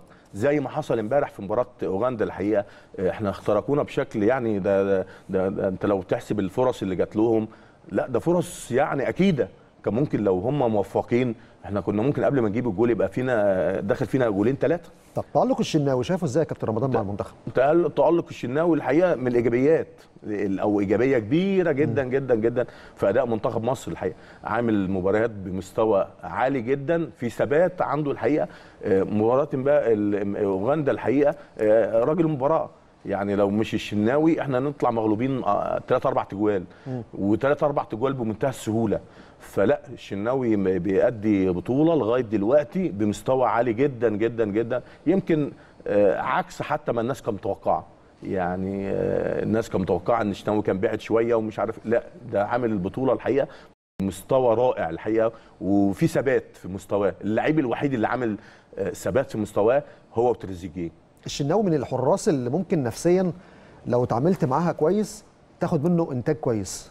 أكيد أكيد. لأن عنده خبرات. بالظبط. يعني الخبرة موجودة الضغط الجماهيري موجود ده حارس مرمى النادي الاهلي لكن المعاملة النفسية أو الأتموسفير اللي عايش حواليه لو كان كويس هتلاقي محمد الشناوي بمستوى كويس. هو آه، يعني لما نيجي نتكلم على أداء الشناوي في الثلاث مباريات يبقى لازم نتكلم على أحمد ناجي. بالظبط. أحمد ناجي بيعرف يتعامل الحقيقة مع الشناوي فاهم شغله. فاهم شغله وفاهم هو بيتعامل معاه إزاي وفاهم إن هو ي- يوديه لأعلى فورمة إزاي؟ في فترات قليلة كمان مش من فترات كبيرة. فلا يعني لازم كمان وإحنا بنشيد بالشناوي محمد الشناوي يبقى لازم نشيد بأحمد ناجي في آه، كمدرب حراس مرمى. قبل البطولة يا كابتن رمضان بحوالي آه، شهر أو شهر ونص كان معايا في مكان حضرتك هنا بالظبط كان الكابتن إيهاب جلال مدرب حراس المرمى. فبقول له مين أقرب لحراسة مرمى المنتخب في بطولة إفريقيا؟ محمد الشناوي أحمد الشناوي محمود جنش. جنش محمد عواد قبل ما كان لسه ما كانش لسه الاختيارات الاختيار. تمت محمد عواد. فالكابتن إيهاب جلال قال لي اللعيب اللي تقدر تتعامل معاه نفسيا ويكون عنده اتزان نفسي في البطولة هو اللي هيلعب. دي النقطة اللي الكابتن أحمد ناجي هيركز عليها. أنا من خلال معرفتي بالحراس وتحديدا محمد الشناوي أنا توقعت في كلامي كابتن إيهاب جلال هو ما رضيش يجزم ممكن يكون مين. هو قال ممكن ما بين محمد وأحمد. لكن الجزئية النفسية والتعامل النفسي هو اللي هيفرق. أنا حسيت بتعامل الكابتن ايهاب جلال وكلامه وقربه طبعا من كابتن ناجي وهو مدرب حراس كبير إن لا الاتجاه هيكون لمحمد الشناوي. هو ونجح. هو الشناوي زي ما قلت لك إن أحمد ناجي بيعرف يتعامل معاه إزاي وبيعرف يوصله لأعلى فورمة إزاي وفي وقت قريب جدا. الحاجة الثانية هو الثبات الانفعالي بتاع محمد الشناوي حاجة كبيرة جدا جدا وما بيخافش من ضغط الجمهور. جدا. لا لا بيخاف من ضغط الجمهور. ولا بيخاف من قوة المنافس. بالظبط. ودي طبعا حاجة يمكن إحنا في حراس الحقيقة ممكن تكون حراس موهوبة وحراس يمكن على مستوى عالي جدا لكن عندهم بيفقدوا دي. يعني حتة الثبات الانفعالي مش موجودة بشكل ده من قوي. أول تسديدة لو شاف الملعب، بالظبط. أو إصابة. مثلا تعامله مثلا مع الجمهور أو تعامله مع المنافس القوي أعتقد في آه، حراس بيقلوا مستواهم بيقل بشكل كبير جدا. محمد الشناوي الحقيقة عامل آه، الثلاث مباريات هو نجم ال- ال- المنتخب الحقيقة مع تريزيجيه ومع محمد صلاح. عدم اختياره man of the match. أنا بصراحة مستغرب جدا من اختيارات اللجنة الفنية في الاتحاد الإفريقي المسؤول عن البطولة. لأن كمان ده حصل في مباراة مصر وزيمبابوي. شفنا تريزيجيه كان هو المتألق وتم طبعاً. اختيار محمود علاء كان يستاهل آه بالظبط شفنا آه. آه. المباراة بالأمس تم اختيار أحمد المحمدي وكان محمد الشناوي هو نجم المباراة حتى في مباريات أخرى يا كابتن رمضان يعني مباراة المغرب وناميبيا اختاروا فيها مبارك بوصوفه آه. وكان نجم المباراة نور الدين مرابط بالظبط نفس بالظبط. القصة مباراة المغرب وكوت ديفوار آه. نفس القصة مباراة تونس وأنجولا تونس آه. وأنجولا اختاروا فيها وهاب الخزري آه واللي كان آه. متألق في هذه المباراة كان يوسف المساكني مم. بص أنا هقول لك حاجة إيه المعيار؟ يعني يمكن من أول مباراة الحقيقة أنا في رأيي إن الاختيارات بعيدة خالص عن اللي إحنا بنشوفه. يعني يعني أي حد في مباراة أوغندا ما يختارش محمد الشناوي راجل المباراه أنت أصل راجل المباراه يعني إيه؟ يعني ليه دور إيجابي في أو مؤثر في نتيجة المباراة. بالظبط. محمد الشناوي امبارح أنا بقول لك لو لو لو هو مش موفق محمد الشناوي الشوط الأول إحنا- سكور. آه إحنا نطلع نطلع ثلاث تجوال أربع تجوال أخد بالك؟ فيبقى كان ليه دور مؤثر جدا جدا في أداء منتخب مصر أو في نتيجة المباراة يبقى كان لازم يح- يحصل على ال- طب راجل- المعيار يا كابتن رمضان؟ أنا ما أعرفش بصراحة لأن ال ال آه، أغلب الاختيارات الحقيقة أنا قلت ماتشات تانية يعني فرق آه تانية. آه طبعا أغلب الاختيارات في كل المباريات الحقيقة بعيدة خالص عن اللي إحنا بنشوفه واللي إحنا بنتابعه. طيب مين المنتخب اللي يكون أفضل لمواجهته في دور ال 16 هو طبعا لسه البطولة وفي منتخبات أقوى بعد كده لكن بالمرحلة اللي إحنا ماشيين فيها خطوة خطوة كينيا ولا جنوب إفريقيا؟ لأن كينيا لو خسرت النهارده من السنغال هتبقى ثلاث نقط. جنوب إفريقيا خسرت فثلاث نقط. آه، المجموعة الخامسة تونس نقطتين أنجولا نقطتين مالي أربعة. آه، يعني إحنا يا ريت يا ريت ما نروحش لل- للمجموعة الخامسة الحقيقة. مجموعة تونس وأنجولا ومالي. آه لأن فرق قوية جدا وفرق هتتعبنا يعني. لكن إحنا لو كينيا مثلا جات لنا أعتقد إن إحنا بقى في المتناول آه، كينيا وإن إحنا نكمل نخش نروح لدور الثمانيه بس نتائج المجموعة الخامسة يا كابتن رمضان لو حصلت وتونس كسبت وأنجولا ومالي اتعادلوا ممكن أنجولا تكون أقرب لمواجهة مصر بالنتائج. ما أنا بقول لك أنا بقول لك إن أنا بتمنى إن إحنا ما نروحش للمجموعة ال- الخامسة. نروح للثالث بتاع المجموعة ال- ال- كينيا التالت. جنوب إفريقيا. كينيا أو جنوب أفريقيا. آه. وغالبا تبقى ممكن تبقى كينيا أقرب يعني. بس يعني هي الفكرة في إيه؟ كينيا هو طبعا الاختيارات بتبقى أنت لو أنت آه، متصدر مجموعتك بتواجه ثالث المجموعة الثالثه لو مش الثالثه هتبقى الرابعة. الرابعة. لو آه. مش الرابعة هتبقى الخامسة. فبيبدأوا الأول بالثالثه آه. كينيا النهارده قدام السنغال المباراة بدأت. مم. كينيا ليها ثلاث أهداف. وعليها أربع أهداف. مم. إذا خسرت من السنغال هيكون معدل التهديف عندها بال minus. فهتبقى فرصتها أصعب. مم. جنوب إفريقيا نفس الفكرة. جنوب إفريقيا عندها ثلاث نقط. ثلاث نقاط بعد بعد. هزيمة المغرب. بالظبط. ما أحرزتش غير هدف. آه. ودخل مرماها هدفين. فبرضه بال minus. بال minus. المنتخب الوحيد اللي نتائجه ممكن تبقى في صالحه إذا تعادل مع مالي هو أنجولا. آه. لأن أنجولا في مبارياته أنجولا آه، أول مباراة مع تونس اتعادل تاني مباراة آه، مع موريتانيا اتعادل ثالث مباراة مع مالي لو تعادل مش هيكون عنده minus. فبالتالي هو هيكون هو الأقرب لمواجهة مصر هو هو طبعا أنا بقول لك أنا ممكن- شرحتها كده للناس عشان تبقى ممكن- عارفة آه، الترتيب هيمشي ممكن إزاي ممكن تبقى أنجولا وأنا بقول لك أنا بتمنى إن إحنا آه، نلاعب آه، كينيا أو جنوب أفريقيا أعتقد إن إحنا ممكن نتخطى دور ال 16 إن شاء الله بإذن لكن إحنا لغاية دلوقتي هي ما اتحسمش إحنا هنلاعب مين لسه لا يعني لسه. لغاية مش هيتحدد الوقت اللي. إحنا فيه ده آه آه. هيتحك- هيت- هيتحدد بكرة طبعا آه. فلكن إحنا بنتمنى طبعا زي ما قلت لك في وسط في وسط يا محمد السلبيات اللي الواحد عمال يقولها دي كلها إحنا طبعا كلنا بنتمنى من ربنا إن إحنا في المباريات اللي جاية نشوف أداء أفضل من الثلاث مباريات اللي اتلعبوا.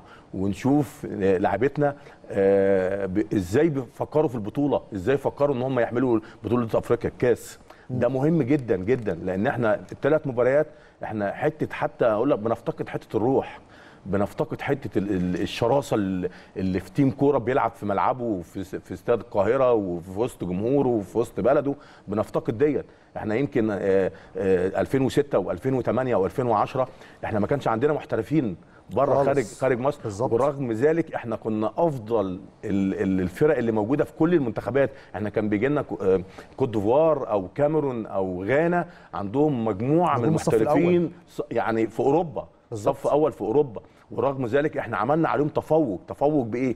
بالجماعيه اللي كان موجودة عندنا دفاعيا وهجوميا بالروح العالية جدا جدا جدا بالإصرار اللي لعيبتنا كانت بتلعب بيه بال, بال يعني بالشكل اللي هو زي ما بقول لك كده كل واحد نازل بيقول لك أنا هموت نفسي عشان أكسب.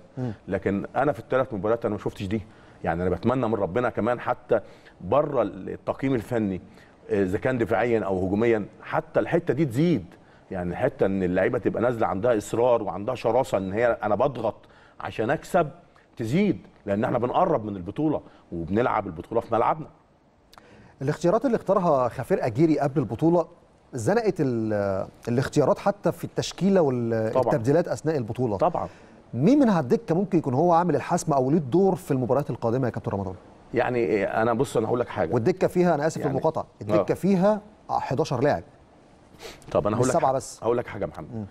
آه أنا اللعيبة اللي أنا قلت عليها دي رمضان صبحي كهربا مش عارف آه، عبد الله السوليه السولية. صالح جمعة.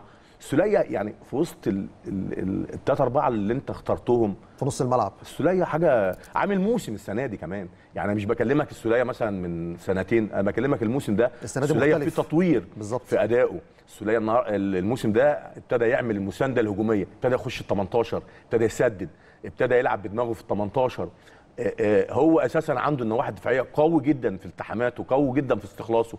اللعيبة دي كانت لازم تبقى موجودة. آه، أنت يعني بتيجي تتكلم مثلا في حاليا دلوقتي أنت لما بتيجي تعمل ثلاث تغييرات الأداء بينزل. يعني الأداء بتاع مثلا التلت ساعة أو النص ساعة اللي أنت بتعمل فيها التغييرات الأداء بينزل عن بداية المباراة. تخيل ده ده يعني إيه؟ ده أنت المفروض اللي بينزل بيعمل إضافة قوية جدا لفرقتك وبيعمل نقلة في في في أداء فرقتك إذا كان دفاعيا أو هجوميا. طب بمناسبة التغييرات آه. إيه اللي فهمته حضرتك أو وصلت له أو الفلسفة اللي يعني اللي خفير أجيري عايز يقولها لما استبدل النني بنزول طارق حامد؟ يعني يعني أنا بقول لك لا ده مش إنني طارق أحمد بس ده كتير يا محمد الحقيقة. ده, ده تغييرة غريبة جدا دي. يعني واستفدت إيه كمان؟ لكن أنا بتكلم كمان أنت آه، تيجي مثلا آه، أول أول مباراة عملت آه، آه، وليد سليمان بمروان محسن. ورحت مدخل محمد صلاح كمهاجم. حربه وفي اتنين فراوده بره. كان في اتنين فر... اتنين فراوده بره. دي حاجة. الحاجة الثانية إن أنت حتى لو أنت بتتابع الشوط الأولاني الاثنين الجبهة اليمين اللي كان فيها المحمدي ومحمد صلاح رابطين مع بعض. طوال الشوط الأولاني بشكل قوي جدا جدا. ووصلوا واخترقوا. يعني الاثنين الوحيدين اللي كانوا رابطين مع بعض. انت لما جيت عملت تغيير رحت فاكك الجبهة دي رحت مودي محمد صلاح راس حربة والجبهة دي خلاص التجانس اللي كان موجود ما بين محمد صلاح والتفاهم اللي كان موجود والربط اللي كان موجود بين محمد صلاح والمحمدي انت فكيته. فكل التغييرات اللي الحقيقة الراجل بيشتغلها أنا مش مفهومة وما بتضيفش حاجة خالص. يعني أنا هقول لك حاجة رغم إن أنا بحب وليد سليمان يعني كلاعب كورة حاجة نموذجي. لعيب تحب تتفرج عليه. آه طبعا. لكن أنا في الوقت يا محمد اللي كان وليد سليمان أفضل لعيب كورة في مصر ما كانش موجود. في مصر وكان مؤثر جدا في أداء النادي الأهلي وهو كل يعني هو الورقة الوحيدة اللي اللي كان. بيكسب النادي الأهلي بالظبط. ال- النادي الأهلي كان بيعتمد عليه اعتماد كلي وكان واضح لكل الناس كل المتابعين للكورة كل الأندية كانت تتكلم يقول لك وليد سليمان وليد سليمان ما خدتوش انت خدته بعد ما اتصاب وبعد عن فورمته وبعدين جاي بت- بت- بتضمه وفي نفس الوقت انت بتحطه كمان في تغييرات وليد سليمان بره الفورمة اللي كان موجود عليها. بس أقول برضو مش دفاعا عن الجهاز الفني للمنتخب بس احقاقا للحق يعني. وقتها قال أنا عندي استراتيجية إني بخفض الأعمار السنية للمرحلة القادمة قبل تصفيات كأس العالم لقطر 2022 لما بقت البطولة على أرضي لازم أعتمد على اللعيبة الخبرات. عشان كده ده حتى ظهر لما لقيته ضم عبد الله السعيد لأن عبد الله السعيد ما كانش من اختياراته. وليد سليمان ما كانش من اختياراته. أحمد علي ما كانش من اختياراته أنا أنا أنا مش بتكلم أنا بقول لك وجهة نظر الجهاز الفني قال أنا إيه؟ أنا أقول لك حاجة يا محمد أنا مش بتكلم بس أنا متفق. معاك في موضوع وليد. آه يعني أنا مش بتكلم على الاستراتيجية بتاعته. هو فعلا التعاقد بتاعه كان بيعد فرقة ل 20 22 ماشي؟ وده كان هو نازل العمر وال- وكان ماشي بشكل كويس قوي. لكن أنا النهارده البطولة بتتلعب في ملعبي. مش معنى بقى إن أنا المفروض أجيب ال- الخبرات إن أنا أجيب حد مش فورمة. ان إن أجيب حد بعيد عن فورمته. أنا شوف أنا بقول لك إيه أنا بقول لك وليد سليمان افضل فترة كان افضل لعيب كوره موجود في مصر. بالظبط. يعني صح. آه كان عنصر مؤثر جدا في كل النتائج الإيجابية اللي عملها النادي الأهلي أو عم ساعد بيها النادي الأهلي يعمل بيها نتائج إيجابية. لكن في نفس الوقت أنا بقول لك اهو أنت لما بتيجي عشان تدور بره على الدكة أنا في رأيي إن الوحيد اللي ممكن يعمل لك تغيير آه، أحمد علي. لأن أحمد علي عنده القوه وعنده السرعة وبيعرف يتمركز في ال 18 بس المهاجمين مظلومين في البطولة دي يا كابتن رمضان. يعني الفرص اللي بتجي لهم ضعيفة جدا. ما برضك أنا أنا لازم يعني أحمد السرعة مش عنده. أحمد محتاج الكورة تخش له في ال 18 أح- أحمد برضك عنده بيعرف يخش ال 18 بشكل كويس بيعرف يتمركز في ال 18 بشكل كويس. احمد أحمد علي يا محمد 18 هدف. بس ده محتاج إن 18 ده الأطراف يشتغلوا؟ محتاج إن قلب وسط الملعب يكمل؟ مش محتاج الأطراف يشتغلوا ولا محتاج قلب الملعب يشتغل. محتاج مستر اجيري ده يشتغل. آه هو ما بيشتغلش الحقيقة. طيب طيب ال- كنت هسألك على إيه؟ طيب ال- النهارده المغرب هديك نتائج المباراة. النهارده المغرب آه. كسبت جنوب إفريقيا بهدف مقابل لا شيء والجزائر بتلعب دلوقتي آه، آه، مع تنزانيا. ناميبيا كوديفوار كسبتها 4-1 فبالتالي المغرب في الصدارة تسع نقاط كوديفوار ست نقاط. في فرق أيضا كمان تأهلت زي آه، نيجيريا. مدغشقر مدغشقر في الصدارة ونيجيريا في المركز الثاني. مدغشقر كسب نيجيريا. كسب نيجيريا 2-0. 2-0 طيب لكن بشكل عام في مباريات اتضحت في دور ال 16 يعني المغرب هتلاعب غينيا. ودي أول مباراة في دور ال 16 الفايز بين المغرب ونيجيريا آه، المغرب وغينيا, وغينيا. في اتجاه مع أوغندا. والفايز بينهم في اتجاه ما بين نيجيريا مع الكاميرون أو غانا ومصر مع كينيا أو جنوب إفريقيا أو أنجولا. دي مجموعه الثمان منتخبات اللي هتلعب مع بعض لغاية ال semi-final بص أنا أقول لك المغرب أنا في رأيي إن هيكمل. المغرب هيلاعب أي حد في 16 في 8 في 4 هيكمل. هيكمل لأن فرقة كويسة قوي فرقة متكاملة فرقة بتلعب كره حديثة فرقة بت- بتدافع بشكل قوي جدا فرقة منظمة وهم في التلت الهجومي. إزاي بيربطوا مع بعض في التلت الهجومي؟ عندهم حركة سريعة جدا جدا. في الثلث الهجومي لا فرق كره هت- هتكمل. وأنا في رأيي كمان إن الجزائر برضه هيكمل بشكل قوي جدا يعني. هيرفي رينار عمل لقطة الإعلام المغربي بيتكلم عليها النهارده. كل العقد اللي كانت بتواجه المغرب في البطولات الإفريقية اتكسرت على إيد المدرب الفرنسي هيرفي رينار طبعا. يعني كوت ديفوار كانت دايما عقدة للكرة المغربية. بالظبط. قدر يكسبها في آخر بطولتين آه. وقدر يكسبها حتى في تصفيات كأس العالم. الكاميرون نفس الموضوع في تصفيات إفريقيا قدر يفوز على الكاميرون. النهارده جنوب إفريقيا أزمة للمغرب من 96 يعني من 96 لغاية اللحظة دي جنوب إفريقيا المغرب ما بتقدرش تكسبها. النهارده كسبت جنوب إفريقيا. بص هقول العامل. النفسي ده شايفه آه. إزاي؟ بص هقول لك حاجة يا محمد. آه، آه، اعمل تقييم حتى لأداء المغرب في كأس عالم آه لما كانت مع إسبانيا والبرتغال. مح... أداء محترم جدا أداء. جدا وأداء قوي جدا جدا. طبعا الراجل ده بصراحة من المديرين الفنيين اللي موجود في, في أفريقيا. خبرة لا كبيرة. خبرة كبيرة جدا وعم بيعمل تطوير في كل منتخب بيروح. فاز ببطولتين مع منتخبين خد آه. خد خد بطولة أفريقيا. زامبيا وكوت ديفوار. زامبيا وكوت ديفوار. لا م- مدير فني أنت عارف إيه واضح شغله واضح. يعني مش مثلا أنت بتقول مثلا تستنى مثلا أداء اللعيبة أو تستنى مش عارف لا ده هو منظم جدا جدا. إزاي بيعرف يهاجم إزاي بيعرف يدافع. بيدافع بيهاجم وبيدافع كمجموعات لعب. وعنده ورقة عنده أوراق عنده كتير أوراق. كتيرة جدا جدا. اختياراته الحقيقة يعني برضك عامل اختيارات قوية جدا جدا. آه لعيبة محترفة في أندية أوروبية على مستوى عالي جدا السعودي. ومستوى كبير جدا. الدوري السعودي نفس الحكاية. فلا هو طبعا زي ما بقول لك إن في منتخبات آه، بالمنت- من متابعتنا الحقيقة للأدوار التمهيدية أعتقد إن هم هيكملوا. عنده خط هجوم حدث ولا حرج وأنا. بقارنه بأقوى خط هجوم في البطولة هو والجزائر. طبعا. يعني عنده حكيم زياش مبارك آه. بوصوفة نور الدين مرابط يوسف نصيري. آه. تحتيهم اتنين defender. لو الناس لاحظت في أول ماتش مع ناميبيا لما كان الأداء مش كويس غير الاثنين ال defender باثنين تانيين. بالظبط. يعني عنده أوراق رابحة. لعب أول ماتش بمهدي أبو ربيعة ويوسف آي... يوسف آيت بن ناصر. الماتش الثاني لعب بكريم الأحمدي ويونس بالهنده وما تحسش بخلل حصل. بالعكس، الأداء كان عالي. الأداء عالي وهو ده اللي إحنا بنقوله على منتخب مصر. انت النهارده لما بتيجي آه، آه، أجيري بيعاوز يتدخل عشان آه، يعمل تغييرات تفوق الفرقة الأداء بيقل. يعني المستوى بينزل. ودي كمان من الحاجات اللي تحسب عليه كمان بشكل كبير جدا جدا. انت النهارده بتلعب ماسك منتخب مصر وبتلعب مباراة في مصر. وتبقى الدكة بتاعتك مش موجودة بالشكل اللي هو تكمل بيه ده دي مشكلة كبيرة جدا الخط الهجومي اللي برضه بنفس قوة المغرب الجزائر.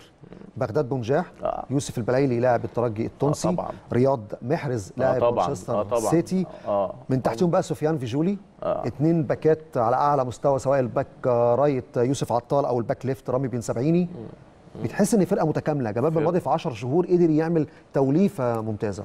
هو ده اللي أنا قلته في بداية الحلقة يا محمد إن جمال عامل آه، ال- ال- اللعيبة المحترفة الجزائريين لما كانوا بييجوا يلعبوا مع المنتخب أنا بقول لك كان بيجوا تقضية واجب. وما فيش ولا روح ولا بتاع ورغم إن اللعيبه جامدة جدا ولعيبة أسماء كبيرة جدا. وكانوا يروحوا يتغلبوا في الجزائر ويتغلبوا بره ومش عارف إيه وبمنتهى السهولة. لا الراجل المدرب جمال ده فرق معاهم بشكل كبير جدا. بتحس إن هم فرقة آه، بيلعبوا بروح عالية جدا فرقة بيلعبوا بشراسة. في أدائهم إذا كانوا هم بيدافعوا هم بيضغطوا. أنت لو تشوفهم هم بيضغطوا لا ده, بي ده إحنا بنتكلم مثلا برشلونة بنتكلم آه، الفرق اللي هي بتستخلص دي في أربع ثواني ولا- أو ثلاث ثواني هم. كده هم كده. فلا يعني المدير المديرين الفنيين بيفرقوا مع مع المنتخبات الحقيقة بشكل كبير جدا. جمال بن ماضي يا كابتن رمضان لما الاتحاد الجزائري على فكرة الاتحاد الجزائري تعاقد معاه بالصدفة. آه. يعني ما كانش في إطار التفكير خالص جمال بالماضي لأنه سنه صغير لسه الخبرات في التدريب مش كتيرة. وبعدين جاي بعد مدربين كان لهم باع طويل في الكرة الإفريقية يعني آه، رابح ماجر. آه طبعا رغم طبعا. نجوميته ما آه، نجحش. آه. فجابوا جمال بالماضي. جمال بالماضي قال لهم أنا التارجت بتاعي تصفيات كأس عالم 2022 مم. ما تكلمونيش عن كأس الأمم. مم. ده بالنسبة لك شايف إن هو أزال الضغوط وخلى المنتخب الجزائري رايح مصر ومحدش في الجزائر بيتكلم عن ترشيح الجزائر للبطولة. مم. ده تأثيره إيه على الفرقة وعلى اللعيبة وداخل البطولة واحدة واحدة؟ هو مدرب ذكي. ذكي. شال الضغوط آه طبعا شال الضغوط على نفسه وشال الضغوط على فرقته. هو مش على نفسه لأنه هو هو عارف هو بيقول إيه. في تصريحات بتبقى في صالح الف... ال- الفرقة, الفرقة. وفي تصريحات ضد الفرقة. آه، التصريح ده شال الضغوط عن اللعيبة. وبعدين هو إزاي برضك ال- المدير الفني يقدر يتعامل مع كل النجوم دي؟ دي حاجة حاجة مش سهلة. يعني منتخب الجزائر فيه آه، كم من النجوم. كون إن هو يسيطر عليهم. ويشتغلوا بالشكل اللي بيشتغلوا بيه المباريات في في الأدوار التمهيدية دي إزاي ال team ده منظم إزاي ال team ده بيدافع بيدافع النجوم الكبار دولت إزاي بيدافعوا كمجموعة إزاي ال team ده بيشتغل في التلت الهجومي إزاي بيلعبوا بشراسة إزاي بيلعبوا بروح الحاجات دي كلها بتاعت مدير فني. هو زي ما قلت لك إن التصريح ده كان ذكي فيه جدا وهو شال الضغوط عن اللعيبة وهو بينه وبين اللعيبة بيقول لهم إحنا لازم نرجع بالبطولة. واضحة لأن في مباراة طبعاً. السنغال القوة البدنية هتكون في صالح السنغال. بالظبط. اللعيبة الجزائريين تفوقوا لا. في هذه المباراة في كل ده الثانويات إحنا ده إحنا قعدنا نتابع 50 دقيقة الجزائر ضاغطين آه، سنغال. يعني ما بيتنفسوش. آه وفي الالتحامات هم بيتفوقوا. التحامات وضغط واستخلاص وكورة و... وكل حاجة. طيب. تونس في المقابل بقى. يعني يمكن تونس حالهم في البطولة قريب من حالنا شوية. آه. تونس عندها مشاكل فنية. مش على مستوى اللعيبة لا على مستوى الاختيارات من ألان جريس. يعني ألان جريس بإمكانياته إنه مسك مالي ومسك السنغال لكن في البطولة دي مش مقنع بالنسبة حتى للإعلام التونسي. بيغير في التشكيل. يعني لاعب مثلا بوجدي كشريدة في وسط الملعب وهو أصلا back right. في المباراة الثانية راح رجع وجدي كشريدة back right ورج... وطلع رامي البدوي بره ال squad. كل شوية يغير حارس مرمى. أول مباراة فاروق بن مصطفى مو ثاني مباراة معز حسان. الحارس الأساسي في البطوله الافريقيه عنده- للترجي معز بن شريفيه مش موجود. الراجل ده عنده مشكلة مشكلة كبيرة جدا. ان هو تعامله مع النجوم آه، صعب جدا جدا جدا. الان جريس آه طبعا. آه بدليل ان هو مثلا أنا في رأيي ان علي معلول لو انت بتتكلم في منتخب تونس ده يبقى مفتاح لعب يعني يعني زي بالظبط انت بتلعب واحد مهاجم طبعاً. جناح مش بتلعب back. فبالتالي انت لما تيجي تستبعد علي معلول و... و... وانت متابعه المفروض ان انت متابعه عشان تضمه المفروض متابعه. طب علي معلول الموسم ده مقدم موسم يعني ولا أروع أعلى لاعب في البطولة الإفريقية لدوري الأبطال آه، assist أهداف بالظبط إذا كان assist في البطولة الأفريقية أو assist في كل المباريات اللي بيلعبها المحلية, المحلية. ف- فأنت بتشيله ليه؟ ما أنت بتش... ده أنت شلت قوة من عندك قوة كبيرة جدا جدا جدا أنا قلت أشوف البديل مين يمكن لا ده الراجل أنا ف- تابعت أسامة الحدادي. ده بعيد خالص ده جيرالدو لعب عليه مباراة آه. في الاولى الافتتاح آه، تونس آه. وانجولا آه لا ما عداش نص الملعب ده بعيد خالص بعيد خالص يعني آه، بصراحة صعب جدا جدا. فبالتالي يعني أنت لما بنيجي نتكلم على ال- ال- السلبيات اللي في منتخب مصر زي بالظبط ما هنتكلم على السلبيات اللي موجودة في منتخب تونس. عشان كده المنتخبين الحقيقة بعاد جدا عن مستواهم وبعاد عن المستوى اللي هم المفروض يقدموه بالنجوم اللي هم بيمتلكوهم الحقيقة. فكرة استبدال حارس المرمى يعني تونس المنتخب الوحيد اللي في البطولة اللي لعب باثنين حراس مرمى لغاية دلوقتي. يعني أوغندا وهي بتلعب مع مصر الحارس أصيب فخرج لكن تونس ما كانش فيه إصابة. فأنا بقول لك أول يعني. مباراة فاروق بن مصطفى غلط غلطة ثاني مباراة غيره الحارس الثاني في المباراة الثانية غلط غلطة كارثية. آه آه. ما هو ما هو ده الفكر. ده الفكر. أنا زي ما قلت لك لو في- أنت مدرب مكانه كابتن رمضان لا طبعا. تغير؟ لا طبعا. بص المركز الوحيد يا محمد اللي فيه مرك... رقم واحد ورقم اثنين ورقم ثلاثة رقم اثنين ده لا قدر الله يتصاب رقم واحد يتصاب إيه، تغيره إيه، ياخد ثلاث إنذارات ياخد طرد. طب تغيره. أخطأ في هدف. لا ولا حتى لو خطأ في في هدف. ما هو أصل أنت مش معنى إن ما كل الحراس اللي في العالم كله في أنت بتتابع مثلا بطولة كأس عالم أو دوري الأبطال في أوروبا ده ده, ده يعني في كوارث. الحراس بيعملوا كوارث. ولكن الحارس رقم واحد هو رقم واحد. مفيش حاجة اسمها إن أنا النهارده الحارس بتاعي في أول مباراة عنده خطأ يبقى تاني مباراة ببدله. لا. انت كده هزيت الحارس بتاعك الأساسي وهزيت الحارس ال- اللي رقم اثنين طب هيعمل إيه في الماتش الجاي مع موريتانيا؟ هيلعب بالحارس الثالث ي- يجيب بقى رق- رقم ثلاثة ولو أخطأ. هيجيب حارس من تونس طب ولا هيعمل إيه؟ ما أنا أنا بقول لك أنا بقول لك يا محمد في مشاكل في في في الإدارة الفنية لمنتخب مصر وفي مشاكل في الإدارة الفنية لمنتخب تونس وأعتقد دي الناس كلها شايفاها آه، موجودة في الملعب في الثلاث مباريات. طيب منتخب مدغشقر. مفاجأة البطولة. آه طبعاً. لغاية اللحظة ده هو الحصان الأسود. آه طبعا. الحقيقة بيقدموا كوره أنا بقول لك يعني للأسف الشديد يعني الواحد حتى بيقولها هو يعني حزين الحقيقة إنك أنت النهارده لما تيجي هتعمل تقييم للبطولة دي إحنا أداء منتخب مصر يعتبر يعني من الفرق البعيدة خالص. يعني أنت بتتكلم مثلا في مدغشقر ده بيلعبوا كرة حديثة جدا وبيلعبوا كرة فيها جماعية وبيدافعوا إزاي وبيهاجموا إزاي فرقة محترمة جدا جدا وعاملين نتائج إيجابية. ف لا والمدرب بتاعهم كمان مش من السيفيهات الكبيرة. بالظبط. يعني في مدغشقر عملوا تجربة غريبة قوي. كل اللعيبة اللي بتلعب في منتخب مدغشقر منهم بيلعب في الدوري المحلي وفي بيلعب في الدوري الهندي وفي لعيبة بتلعب في الدرجة الثانية والثالثه في فرنسا. مش في الكلاس إيه مش في الدوري. الدرجة الأولى. آه. حتى المدير الفني المدغشقر يا كابتن رمضان مش مدير فني ضرب حتى منتخبات أو فرق آه، في الدوري مش الفرنسي اسم درجة أولى. كبير مش اسم كبير. ده شغله كله درجة ثانية ودرجة ثالثه بالظبط. يعني ما هي هي برضك أنا هقول لك حاجة إزاي إزاي المدرب أو المدير الفني يوصل بلاعيبته يخش جوه لعيبته بس بقى له ثلاث سنين ده, معاه ده مهم جدا ده بقاله ثلاث طبعاً. سنين مع المنتخب طبعا. وعامل نتائج إيجابية بالظبط. خلي بالك يعني في الثلاث مواسم هو عامل نتائج إيجابية أنا بقول لك إنك إزاي توصل تخش جوه لعيبتك. يعني أنا آه يعني زي ما بقول لك كده أنت مثلا بتتكلم مثلا آه مشاكل كتيرة جدا مثلا في, في منتخب مصر مشاكل كتيرة جدا في منتخب تونس. لا في في منتخبات الحقيقة أثبتت وجودها وقدمت نفسها بشكل محترم جدا وبشكل قوي جدا جدا في البطولة الحقيقة. طيب في تجربتين غريبة شوية. السنغال وكوت ديفوار. يعني دايما المدارس الإفريقية بتعتمد على المدربين الأجانب. آخر سنتين شايفين السنغال رايحة في اتجاه مختلف وكوت ديفوار نفس الموضوع. السنغال بيدربوا أليو سيسيه وكوت ديفوار بيدربوا إبراهيم كامارا. وجهة نظرك يعني شايف الاتحاد السنغالي والاتحاد الإيفواري إيه الفكرة إن يعتمد على مدرب وطني في ظل إن كوت ديفوار لها تجربة غريبة شوية؟ يعني اللي ماسك المنتخب الأول حاليا إبراهيم كامارا مسك الناشئين وطلع بالشباب وراح للأولمبي والمحليين وحاليا ماسك المنتخب الأول. هم هم يعني اشتغلوا كده ليه؟ لأن كل التجارب اللي هم اشتغلوا بيها بمديرين فنيين الأجانب آه، تجارب ما كانتش ناجحة. يعني فنيا ما كانتش ناجحة.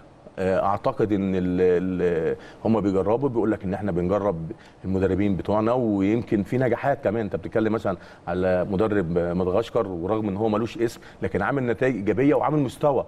بالظبط يعني عامل نتائج إيجابية بمستوى كمان بأداء فبالتالي هم بيجربوا كسب نيجيريا 2-0 وتصدر المجموعة طبعا وإيه كمان مش مش خبطة يعني لا ده ده في. تفوق آه. بأداء آه. فهم برضك كوت ديفوار بيجرب.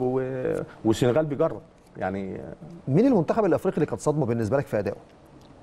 غانا، الكاميرون، نيجيريا يعني نيجيريا طبعا فترات الحقيقة كان مش أدائهم كان وحش جدا آه، غانا برضك نفس الحكاية يعني فترات قليلة قوي اللي اشتغلوا فيها بشكل كويس يمكن هم دول أقرب فرقتين وفرقتين مصنفين. بس نيجيريا عندها أسامي يعني وغانا عندها أسامي طبعا. ما أنا بقول لك فرقتين مصنفين. جوردن أنت أيو، باللعيبة- أندريا آه. طبعا طبعا. بال بال بالأسماء اللي عندهم إذا كان في غانا أو في آه، نيجيريا آه، جون مانسير، فرق آه،. مصنفة. طبعا طبعا طبعا. ولا المشاكل الداخلية ممكن تأثر على المنتخبات دي؟ والله بص أنا أقول لك حاجة يعني من أسوأ الحاجات اللي بتحصل في البطولات الأفريقية إنك تيجي مثلا قبل. البطولة وتيجي مثلا منتخب نيجيريا ده بالذات مش عارف الكاميرون يجي يقول لك قبل البطولة إحنا لنا مستحقات يا جماعة أنتوا كنتوا فين يعني ما أنتوا ما تطلبوا مستحقاتكم دي ببلدكم أو قبل ما تطلعوا البطولة أو قبل ما تخشوا البوله دي خلي بالك دي سلبية كبيرة جدا في الكرة الإفريقية طبعا فعلا. في الكرة آه. الإفريقية ما أعتقدش إن في الكرة الأوروبية حد ده لو حتى حتى لمح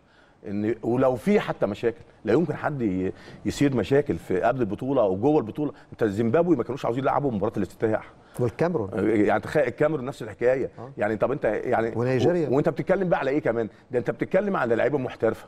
يعني أنتوا أساسا يعني مش مش محتاجين.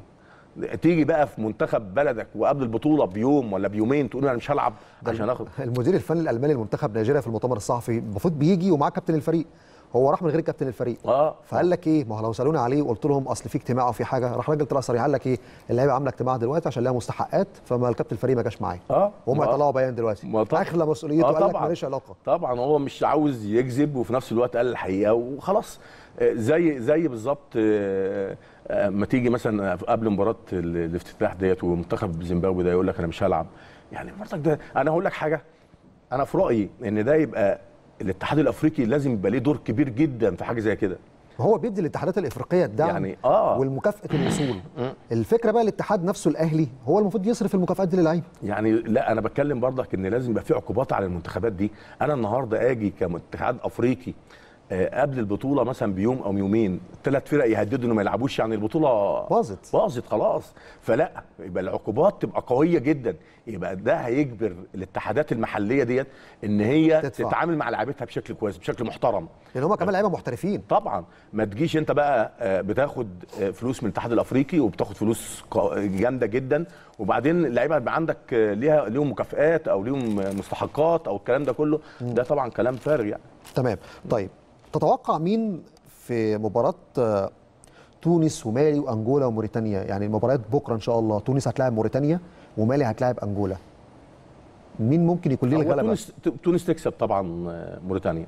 مش أكيد قوي يا كابتن رمضان على فكرة. يعني أنا أنا لا يعني يمكن أنا بكلمك مش مش كاسم. أنا بكلمك آه، كمستوى كمستوى. لا كمستوى. الحقيقة شفت مباراتين ل... ل... ل... لموريتانيا. الحقيقة لا تونس تقدر إن هي آه تكسب. طيب. تتكلم في مالي. مالي وأنجولا. مالي وأنجولا. مالي أنا بعتبرها من الفرق قوية جدا. يعني أدائهم في المباريات كلها الحقيقة آه عاملين مباراة على مستوى عالي جدا. تونس لو كسبت ومالي لو كسبت مفيش ثالث في المجموعة دي هيتأهل. لأن تونس هتبقى عندها خمس نقط مركز تاني مالي هيبقى عندها سبع نقط. أنجولا هتبقى نقطتين. النقطتين دي, دي تبعد خالص. تبعد ما خالص. تخشش خالص. آه بالظبط. وده وده المتوقع الحقيقة. يعني أنا في متوقع إن مالي تكسب وإن تونس تكسب طيب المجموعة الأخيرة الكاميرون هتلاعب بنين. وغانا هتلاعب غينيا البيساو الكاميرون عندها أربع نقط وغانا نقطتين بنين نقطتين غينيا بيساو نقطة واحدة يعني برضه أنا بقول إن الكاميرون فرصتها برضه كبيرة إن هي تكسب بكرة رغم إن بنين اتعادلت ماتشين اتعادلت آه. مع غانا واتعادلت مع غينيا بيساو آه أنا بتكلم برضك على المستوى يعني في خلال متابعتي للمباريات لا الكاميرون التيم برضك يقدر حامل. اللقب. آه طبعا team قوي team قوي تحمل اللقب سبع آه. نقط يعني لو آه. كسب آه. وغانا وغانا برضك من برضك تكسب والكاميرون الكاميرون لو تعادلت برضه هتصعد. بس هنا هيبقى بقى فكرة ال- الترتيب لأن غانا اتعادلت مع الكاميرون سلف- صفر صفر فأي نسبة أهداف ممكن تصعد غانا مركز أول وتخلي الكاميرون مركز ثاني إذا الكاميرون اتعادلت آه، لو الكاميرون تعادلت وغانا كسبت. وغانا كسبت. آه طبعا. نسبة الأهداف ممكن تخلي غانا مركز أول والكاميرون مركز ثاني آه. ولو الكاميرون مركز ثاني هتلاعب نيجيريا في دور 16 آه. ما هي هي لغاية دلوقتي ال- ال- ال- المباريات بتاعة دور 16 يمكن تحسم بكرة. يعني آه، الثالث بتاعنا دوت اللي إحنا هنلعبه لغاية دلوقتي ما اتحسمش. آه، في في مجموعات تانية برضك الثالث بتاعها ما اتحسمش. بالظبط. فتحسم بكرة كلها في المباريات يعني. نيجيريا لو لعبت الكاميرون ومصر تنتظر الفائز منهم في دور الثمانيه شايف المواجهات دي إزاي يا كابتن رمضان؟ أو لو نيجيريا لعبت الكاميرون الكاميرون هيبقى فرصته أكبر.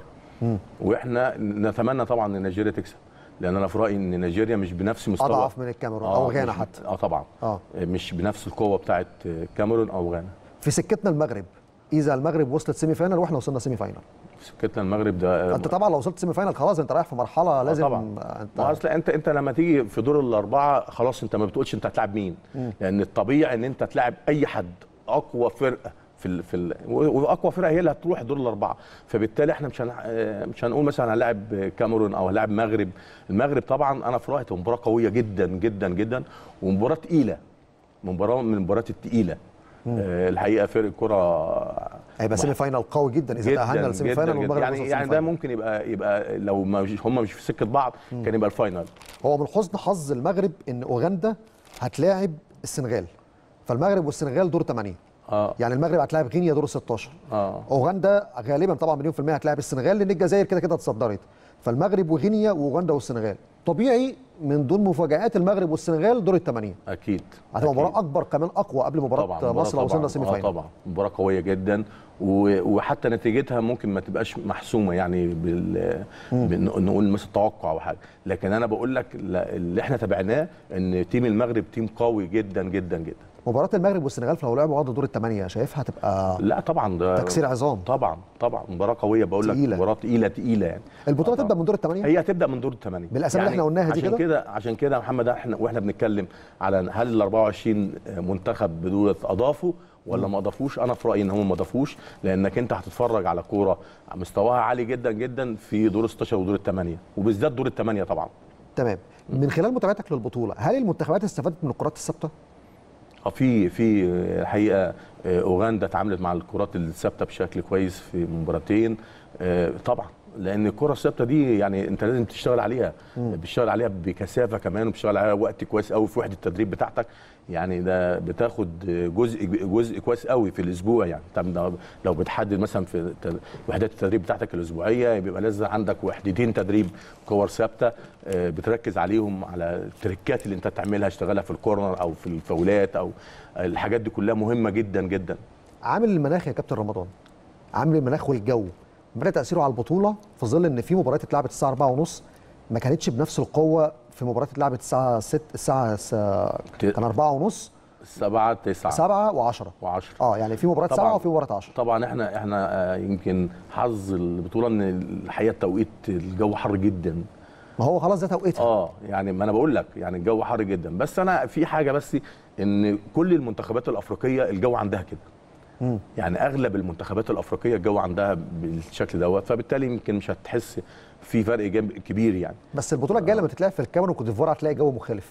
آه. التوقيت ده في مصر أو في شمال إفريقيا حر آه طبعا لما طبعا. تنزل تحت خط الاستواء آه. درجة الحرارة بتقل كتير. بتقل بقى وأمطار والجو بيختلف تماما. بت- بتقل طبعا كتير. لكن أنا بقول لك المباريات كلها اتلعبت الساعة 10 أعتقد الجو بيبقى فك الدنيا فكت وحتى الأداء ما بتأثرش يعني.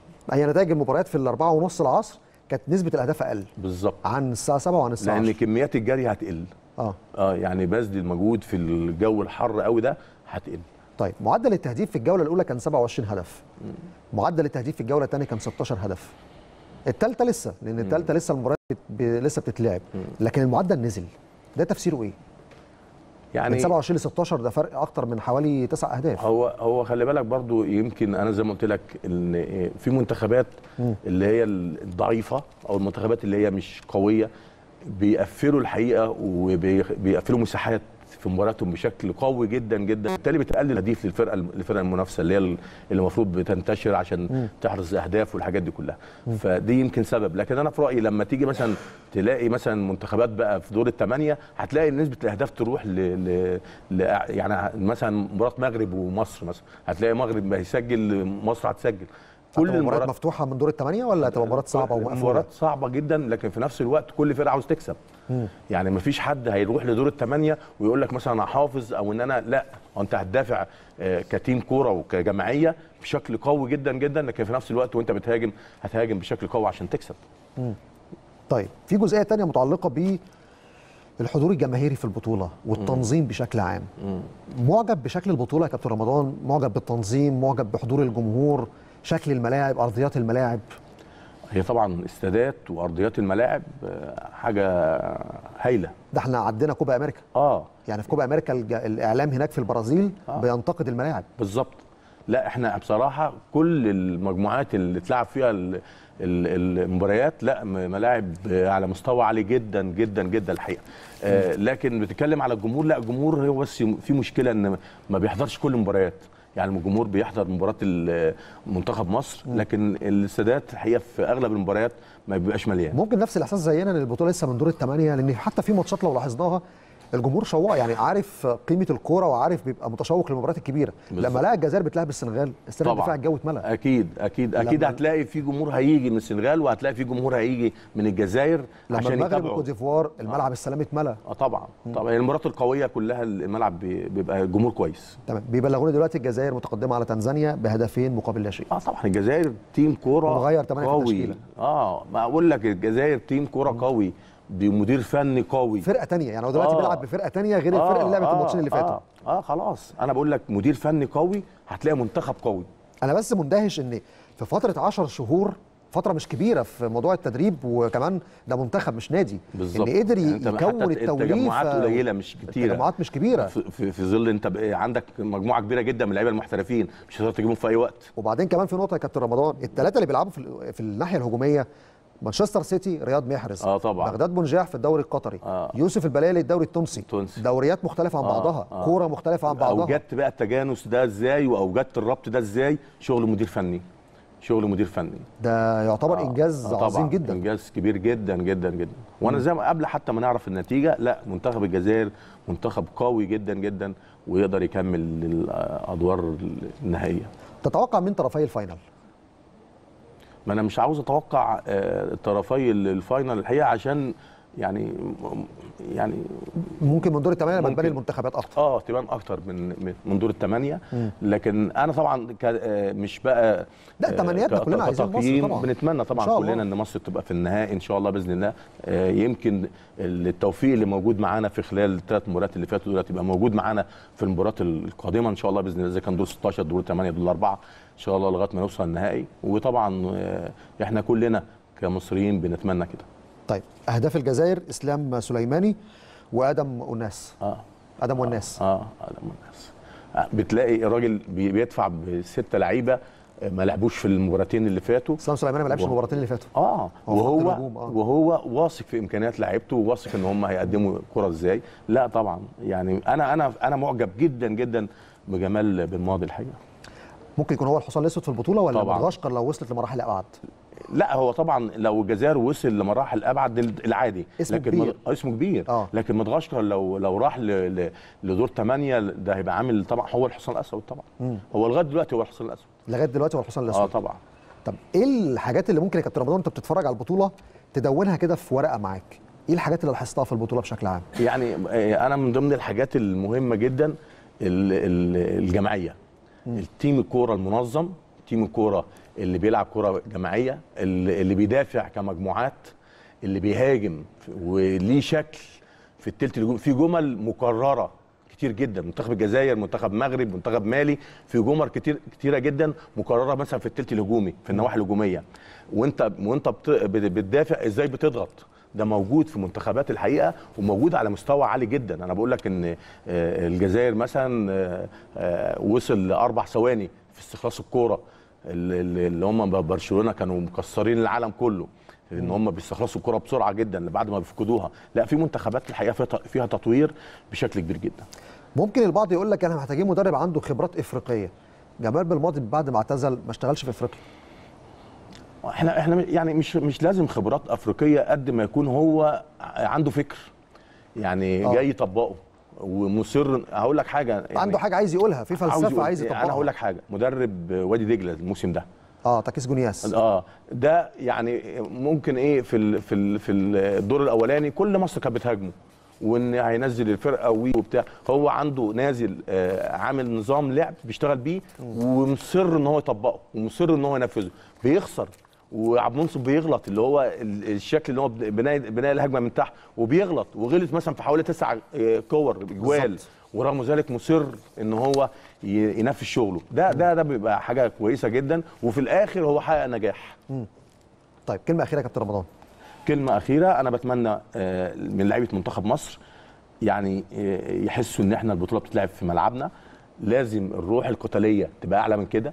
لازم الشراسة الدفاعية تبقى أقوى من كده لازم الشراسة الهجومية تبقى أقوى من كده لازم نلعب كمجموعة ما نلعبش بفردية آه، لازم نربط مع بعض الحقيقة. يعني أنا أنا بتمنى من اللعيبة البعيدة عن المستوى في الثلاث ماتشات اللي اللي فاتوا دولت إن يرجعوا لمستواهم ويمكن يعملوا معانا يصنعوا معانا فارق الحقيقة في المباراة القادمة إن شاء الله بإذن الله.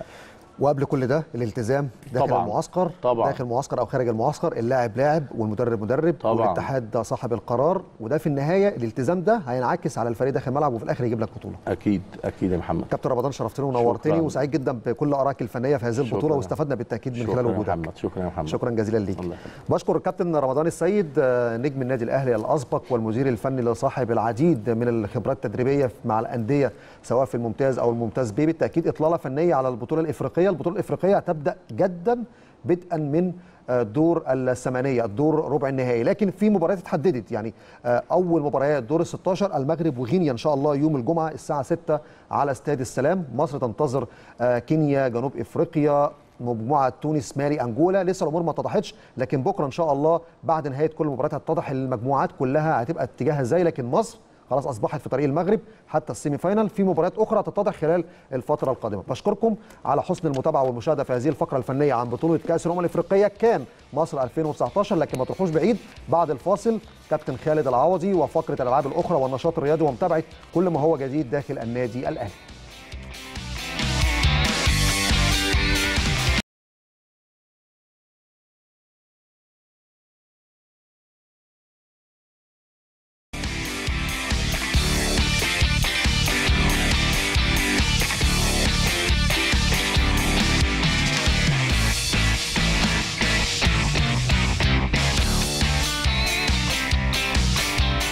الخير على كل مشاهدي قناة الأهلي والفقرة الثانية من برنامج الأهلي الليلة والحديث عن الألعاب الأخرى في النادي الأهلي. قبل ما نتكلم وقبل ما نتكلم عن أي حاجة لازم نعزي ونعزي أنفسنا ونعزي أسرة النادي الأهلي في الرياضة. عن وفاة الراحلة كابتن نادية شريف أحد أساطير يعني الرياضة النسائية في النادي الأهلي. لعبت في كرة اليد وتألقت وكرة السلة وتألقت وألعاب القوة وكثيرا من الألعاب حصل على وسام الجمهورية. من الطبقة الأولى مرتين أيام الرئيس جمال عبد الناصر والرئيس أنور السادات ليها باع طويل في الرياضة في الرياضة المصرية. حققت إنجازات كتيرة. رحمة الله عليها فقدنا كابتن نادية شريف امبارح. ع- بالتحديد رحمة الله عليها وفعلا هتظل كابتن ناديه شريف أحد أساطير الرياضة النسائية في النادي الأهلي بإذن الله رحمة الله عليها. خلينا نخرج لتقرير عن كابتن ناديه شريف وترجعوا لنا مرة تانية عشان نبدأ الحديث عن الألعاب الأخرى.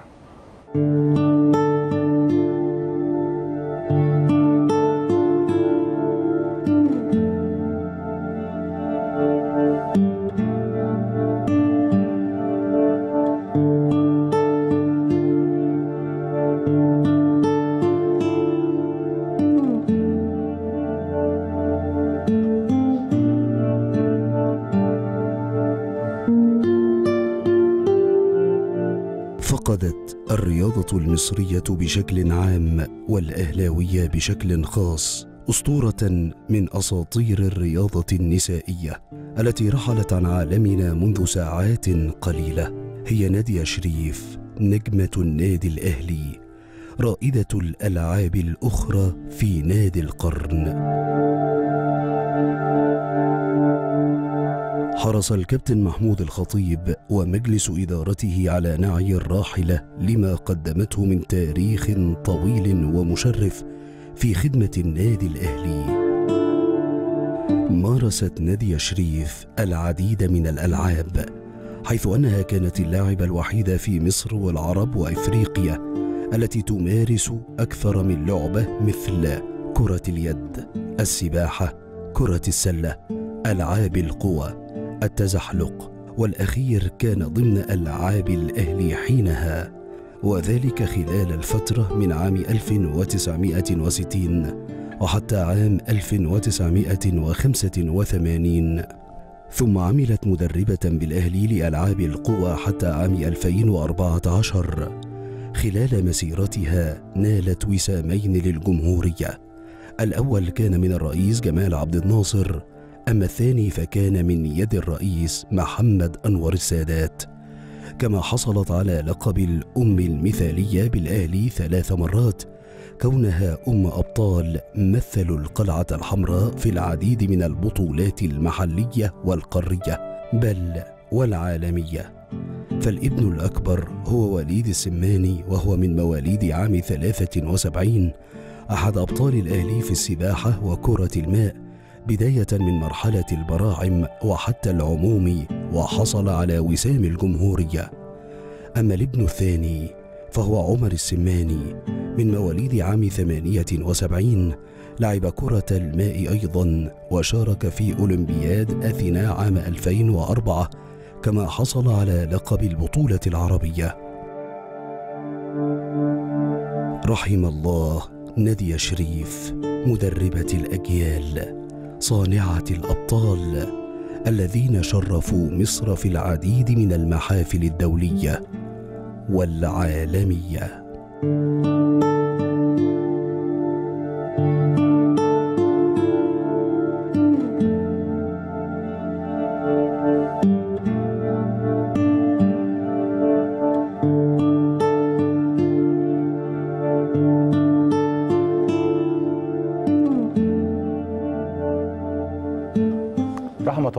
كابتن نادية شريف أنا بالاخص مش يعني كنت في وقت ما كنتش حابب ممكن أطلع بالخبر ده في حياتي بصراحة لأنها كانت أم لينا كلنا وأنا لعيب في النادي الأهلي. كابتن نادية شريف ما كانتش رياضية ب... بزي ما الناس ما فاهمة لا بالعكس كانت أم لكل الرياضيين في النادي الأهلي. في ال handball هي أمنا وبنتكلم معاها وبتدينا نصايح في ال basket في ألعاب القوة في كل النادي. كنا دايما وإحنا أولاد صغيرين جوه النادي بنروح لها ونقعد معاها لأنها فعلا كانت حنينة علينا جدا وكانت دايما تنصحنا نصايح دايما إيه النادي الأهلي وإيه قيمة النادي الأهلي. لازم نقول حاجة مهمة إن زوجها رحمة الله عليه برضه كابتن محمود السماني كان أحد نجوم النادي الأهلي رحمة الله عليه في كرة اليد. يعني هي أسرة رياضية. كابتن وليد السماني كابتن عمر السماني يعني نقول لهم البقاء لله والدوام لله. فعلا بنعزي أنفسنا ونعزي أسرة الرياضة في النادي الأهلي كلها. عن كابتن نادية شريف رحمة الله على كابتن نادية شريف. خلينا نستقبل ضيفنا النهارده اللي معانا آه نتكلم عن كابتن ناديه شريف وهنتكلم عن ألعاب القوى وحياتها كمان الشخصية معانا ومعاكم كابتن ياسر داوود رئيس جهاز ألعاب القوى بالنادي الأهلي. كابتن ياسر مساء الخير. مساء النور كابتن خالد يعني دايما بتنورنا لكن الظرف النهارده ظرف مختلف وهو فقدنا كابتن ناديه شريف يعني أحد أساطير الرياضة النسائيه في النادي الأهلي. عذرا. معلش أنا عارف الموضوع صعب وأنا شايفك وإحنا بنشوف لكن حال الدنيا.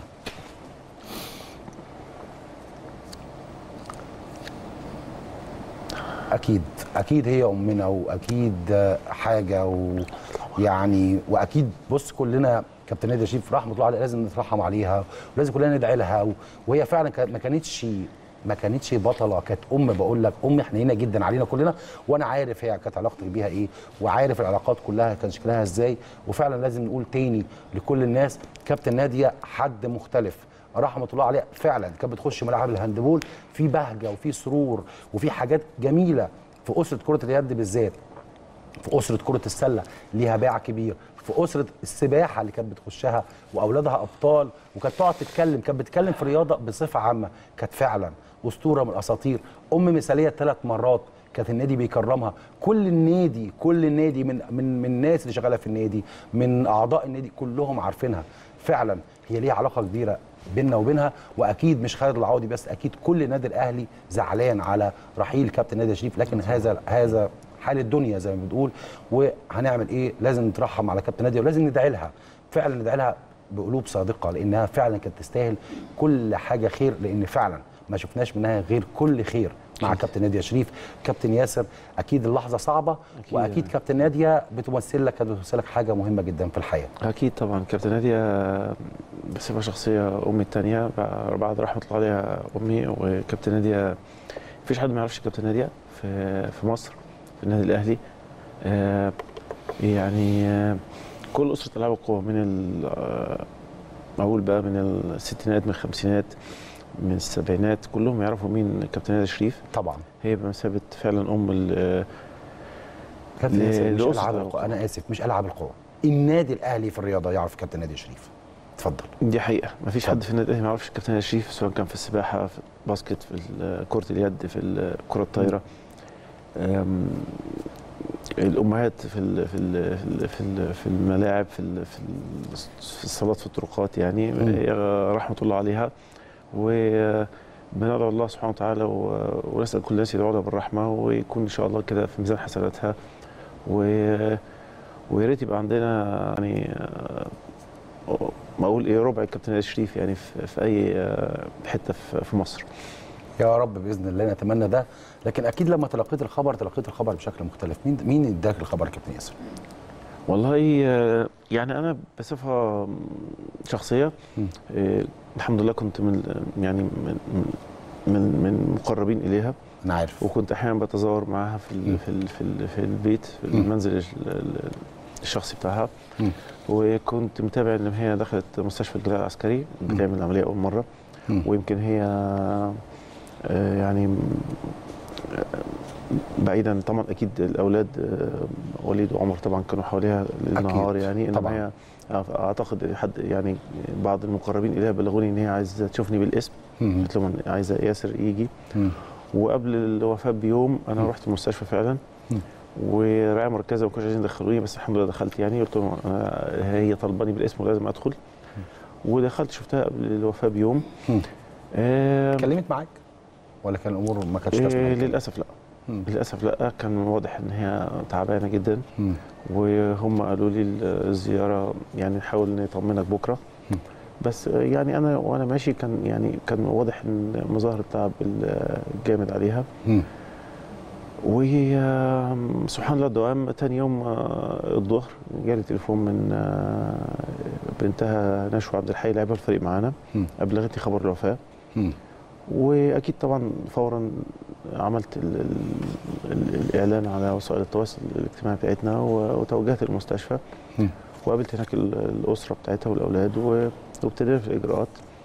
آه، طبعا آه، يعني أكيد يعني واحد بيتلقى خبر وفاة آه، أمه عزيز. آه طبعا. بتبقى العملية صعبة شوية. عايز أعرف أنا أنا مش عايز أخدك كتير لكن كابتن نادية من أكتر الناس اللي دعمت ياس وجود ياسر داوود داخل جهاز ألعاب القوى بالذات إن أنت ولد من ولادها. دي حقيقة. دي حقيقة طبعا طبعا. دي حقيقة بالابصم العشره يعني أكيد هي كانت بتدعمني. من وأنا لاعب على فكرة من وأنا مدرب. آه، كابتن نادية كانت آه، باستمرار بتتابعني بت آه، يعني يعني حتى قبل ما ما تشرف على تدريب بعض الأوقات يعني. آه، آه، كانت بت- بتتابعني وبتدعمني في لاعبا ومدربا وكمدير للجهاز فني هي اللي شجعتني وقعدت معايا كلمتني أنت اتعاملت معاها كلعيبه يا كابتن ياسر وبعد كده اتعاملت معاها في الجهاز. آه بس انت هي ما اشتغلتش معاك في الجهاز؟ لا. ما اشتغلتش. لا. طب قول لي كان قبل البطولات المهمة أكيد كان ليك تواصل معاها وهي كانت لسه يعني قبل الموضوع المرض وكده كان في كلام أكيد هي بتتكلموا معاك حاجات معينة تقول لك خلي بالك اعمل كذا إيه إيه النصائح المهمة والله النصائح؟ النصائح ما, ما, ما, ما انقطعتش يعني لاعبا ومدربا ومدير الجهاز. يعني يعني أحيانا كمان قبل البطولات ال- ال- ال- الصعبة. كانت بتتصل بيا تليفونيا. آه في في كم مباراة عدوا علينا كم لقاء بطولة الجمهورية عدوا علينا كانوا صعبين فكانت بتتابعني بصفة يومية. مم. بتسأل على- على اللعيبة بالاسم كأنها متواجدة معانا في الملعب وفلان عمل إيه وفلان عمل إيه وخلي فلان يعمل كذا وفلان يعمل كذا. آه، لأن هي كانت يعني آه، مصدر ثقة وحب يعني يعني يعني الاثنين كانت آه، هي عندها حنية مش طبيعية أكيد. بصراحة. أكيد طبعا بجد. أكيد طبعا أكيد. يعني هي أم حنونة ورياضية متألقة ساطعة بقوة. دي حقيقة. الرياضه النسائيه دي حقيقة. وبعدين هي هي حتى لاعبا ومدربا كان يعني تعليماتها كانت كانت مختلفة. مم. يعني هي كانت لأن هي بحكم التايتل كانت مدربة البنات والسيدات. آه، وأنا كنت في حتة ثانية خالص. إنما كانت يعني بتستدعيني حتى بالإشارة ومثلا اعملوا كذا كذا كذا. كان آه، ليها رؤية بعيدة المدى يعني. مم. وكان في ثقة. في اللي هي بتقوله فكنا بننفذ يعني ال- اللي بتقوله حرفيا و... مم. والحمد لله كان التوفيق من من نصيبنا يعني.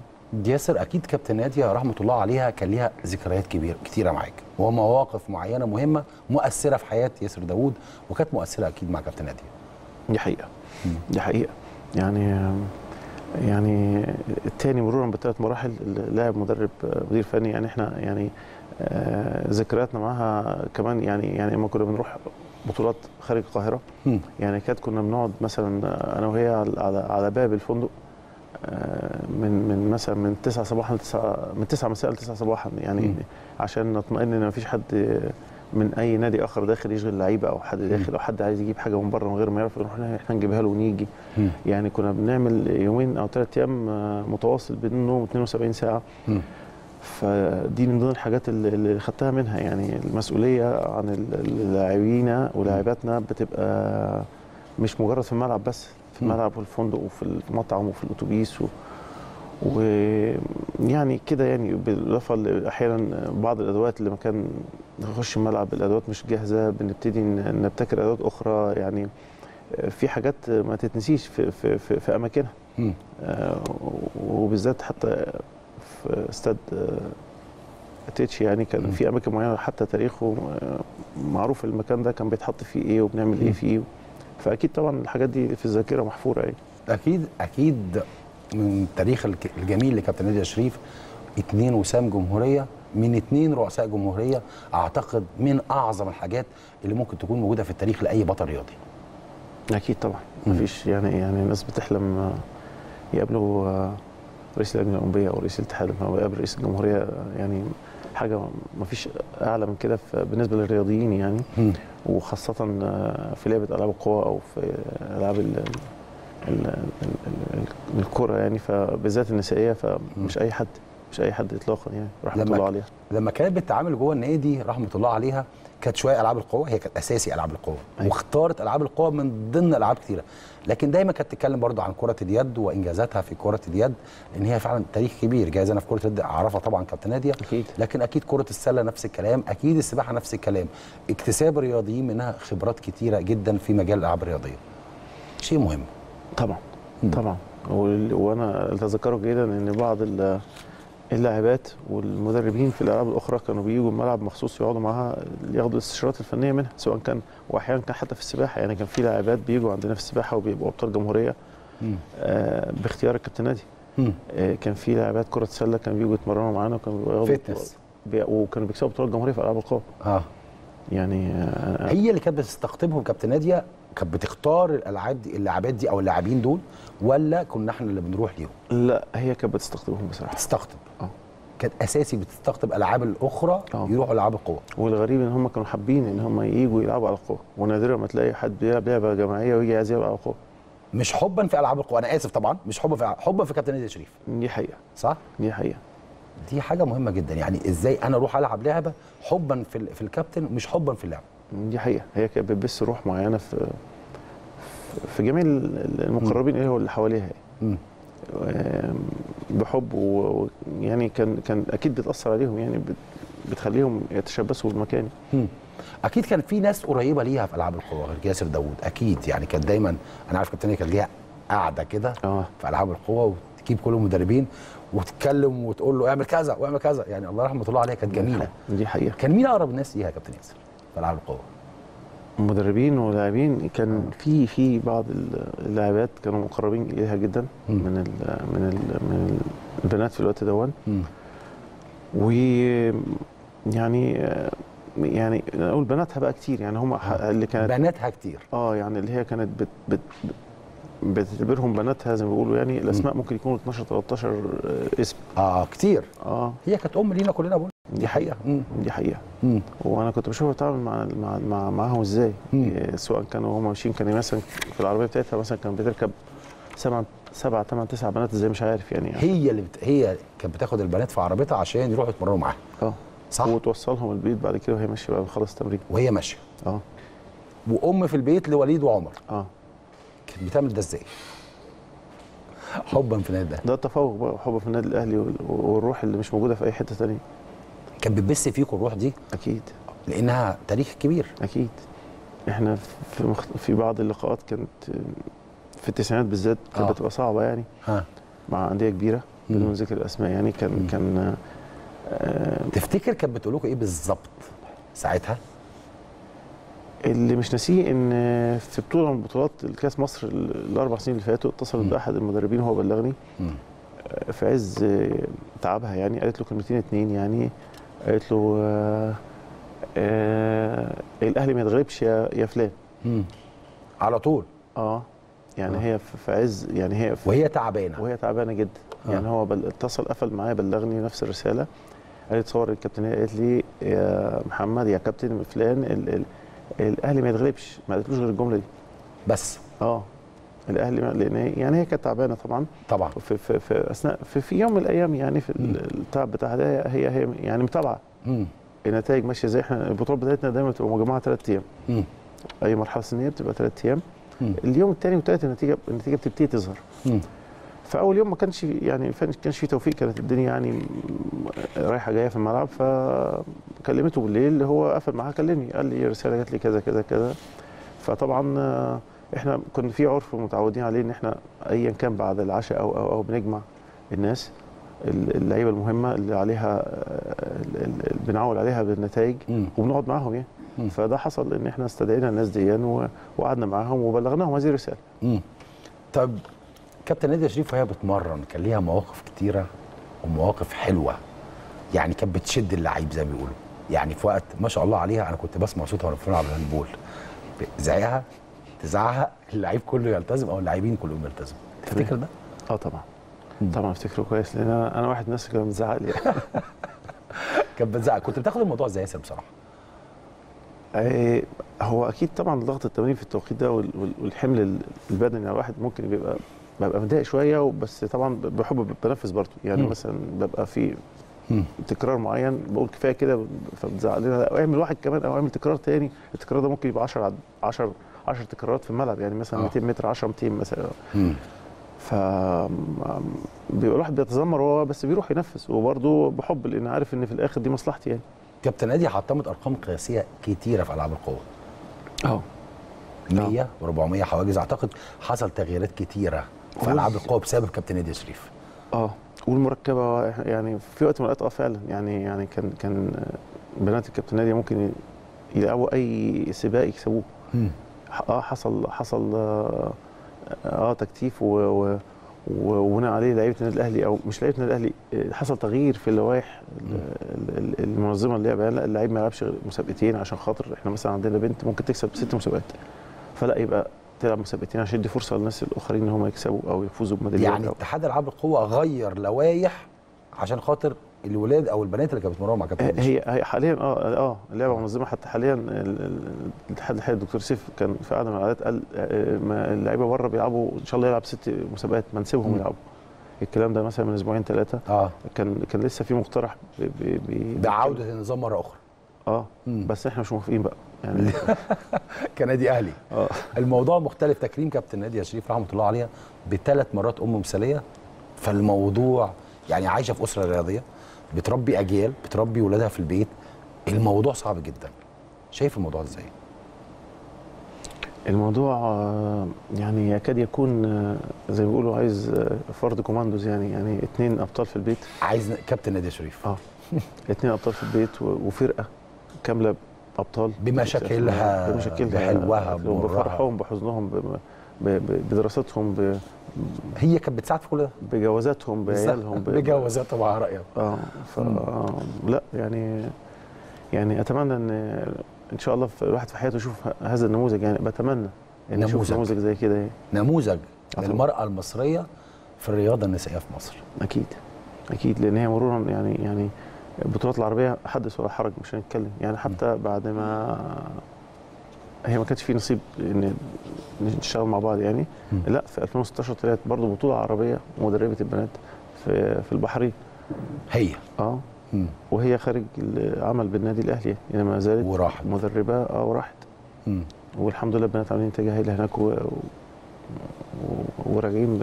أكيد أكيد بس لازم لازم الناس تكون عارفة إن هي كابتن ناديه رحمة الله عليها نموذج مشرف للرياضة المصرية أو الرياضه النسائيه في مصر بصفة عامة. فعلا كانت هي نموذج مشرف ونموذج يحتذى به وفعلا نتمنى زي ما كابتن ياسر بيقول إن يكون عندنا كابتن ناديه شريف مرة واثنين وثلاثة. لكن فعلا فقدنا حد عزيز علينا جدا وعزيز علي أنا شخصيا. وعايز على أسرة الرياضة في النادي الأهلي والرياضة المصرية. فعلا كابتن ناديه شريف رحمة الله عليها. نتمنى الدعاء من كل مشاهدي وجماهير النادي الأهلي لكابتن ناديه شريف لانها فعلا أحد نجوم وأساطير الرياضه النسائيه في مصر والنادي الأهلي. كابتن ياسر أكيد لازم نستغل وجودك يعني أكيد رحمة الله على كابتن ناديه لكن لازم نستغل وجودك عشان نعرف أخبار ألعاب القوى إيه والبطولات القادمة بإذن الله والمشاركة في البطولة الأفريقية القريبة جدا بإذن الله من لاعبين النادي الأهلي. إن شاء الله بإذن الله.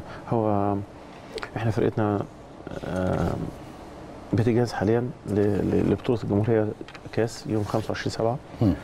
اللي منها يتم انتقاء المنتخب المصري اللي, اللي هيمثل مصر في دورة العاب آه، الأفريقية الأفريقية في مم. المغرب في شهر سبتمبر إن شاء الله مم. ويعني الاستعداد وال- والتدريبات بتجري على قدم وساق سواء كان من جميع أفراد الجهاز سواء كان بدني أو أو أو في نفسي أو أو إعداد في في تأهيل المصابين و و- آه، بنأمل آه، ونتعشى في آه، ربنا سبحانه وتعالى إن هيبقى عندنا نسبة لا بأس بها لا تقل عن 8 9 لاعبين من المشاركين إن شاء الله في المنتخب المصري. آه، على رأسهم بعض اللاعبين وبعض المسابقات زي ال- هل في حد اتحدد منهم ولا لسه ما اتحددوش؟ آه، هو يعني أنا لا لسه ما تحددوش. هيتحدد 25 7 إن شاء الله كويس. 25 إنما بنسبة يعني كله داخل كله داخل تصفيات أو كله داخل آه. اختبارات. آه إنما في ناس مؤهلين أو مرشحين. مؤهلين ومرشحين. آه، يعني على سبيل المثال في في في لاعبي المطرقة بتوعنا مصطفى الجمال حسن عبد الجواد إسلام أبو سريع. آه، لاعبه ال- ال- القرص أميرة خالد. آه، لاعبه الوثب بطول الثلاثي إسراء سمير. ما شاء الله. آه، لاعب المشي إسلام عبد التواب. لاعب الوثب ال- ال- العالي محمد طلعت. لاعب ال 110 حواجز آه، رامي. ما شاء الله. سعيد. آه، في حوالي لن يقلوا عن 8 من 8 ل 10 لاعبين ولاعبات إن شاء الله. داخل المنتخب المصري في البطولة الأفريقية. آه وبإذن الله يحققوا إن شاء الله ميداليات ويرجعوا. شايف إن هم يقدروا يحققوا نتائج كويسة بإذن الله في أفريقيا آه. في أفريقيا. آه. نقدر. آه. ليه على أفريقيا نحقق وليه على المستوى العالمي ما بنحققش بصراحة.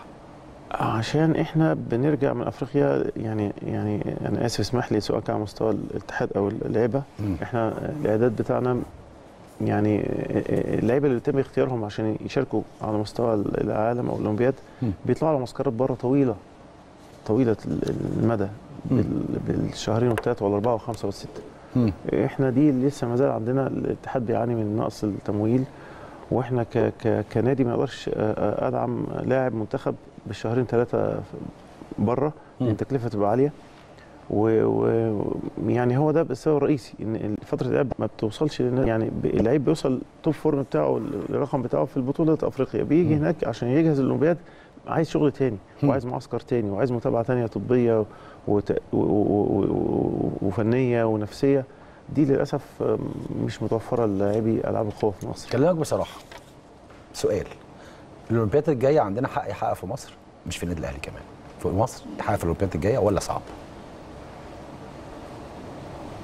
سؤال صعب شوية. آه، سؤال صعب بس ممكن الإجابة عليه إن إحنا اليومين دول يعني بنعد. بنعد وماشيين في سكة إن إحنا إن شاء الله يبقى في آه، تقصير لمدة إيهاب عبد الرحمن العفو عنه. طبعا. دي لو إن شاء الله تمت ونجحت ال- ال- ال- السيد معالي الوزير والرئيس اللجنه الاولمبيه ولجنة المنشطات المصرية مم. إن لو قدر يشارك من شهر يناير يشارك يبقى. عنده فرصة لا تقل عن 70% من المشاركه في الاولمبياد وتحقيق أهداف. وثلاثي المطرقة بتوعنا آه، مصطفى الجمل وحسن. قريبين يا كابتن ياسر. آه. قريبين للتحقيق. آه. يا رب نتمنى الخير. يا رب. الدوري أو بطولة الجمهوريات اللي جاية بإذن الله في المراحل السنية اللي عندنا أخبارنا إيه؟ أنا عارف إن ما شاء الله السنة اللي فاتت قفلنا ال season. الحمد لله. بس السنة دي محتاجين برضه نقفل ال season. عندك مشاكل ولا بدأنا فترات الإعداد وتوكلنا على الله؟ ال- آه، يعني هو في مشاكل بس بدأنا وبتوكلنا على الله. إنما إحنا إحنا كان يعني كان دايما الدرجة الأولى تبقى آخر حاجة. عرس البطولة. إحنا السنة دي بادئين بيها. بادئين بيها. بادئين بيها عشان ناخد آه. المنتخب عشان دورة لعبه افريقيه مم. ف ومع ذلك لا إحنا الحمد لله جاهزين وتوكلنا على الله وبإذن الله إن شاء الله مركز اول زي ما متعودين إن شاء الله. دايما بتشرفونا ودايما فعلا بنكون فرحانين بألعاب القوى في النادي الأهلي. طول ما كابتن ياسر داوود هو رئيس الجهاز. الحمد لله ده شيء يسعدني وده يعني مسؤولية على كتافي قبل ما تكون آه، فرحة ليا. والحمد لله يعني أنا من النوع اللي دايما بجتهد إن آه، أبقى أحسن مش يا رب. مش مش قاعد مكاني وبنكسب وخلاص. لا الحمد لله بنحاول نروح للأفضل كعادة النادي الأهلي. نورتني وشرفتني تسلم يا كابتن تسلم يا كابتن. شكرا. دي حقيقة يعني دايما بنستمتع بوجود كابتن ياسر داوود رئيس جهاز ألعاب القوى. لكن خلينا نخرج لفاصل ونستقبل نجمة كبيرة عندنا في السباحة في النادي الأهلي وفي السباحة المصرية كابتن هانيا مورو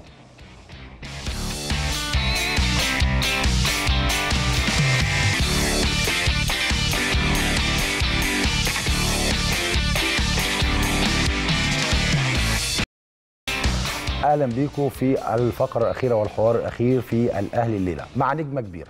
نجمة كبيرة بمعنى كلمة نجمة كبيرة.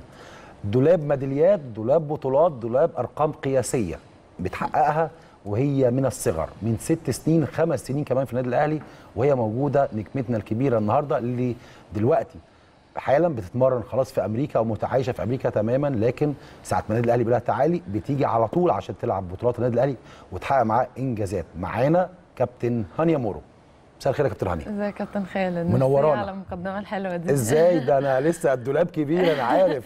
يعني شاهد على العصر.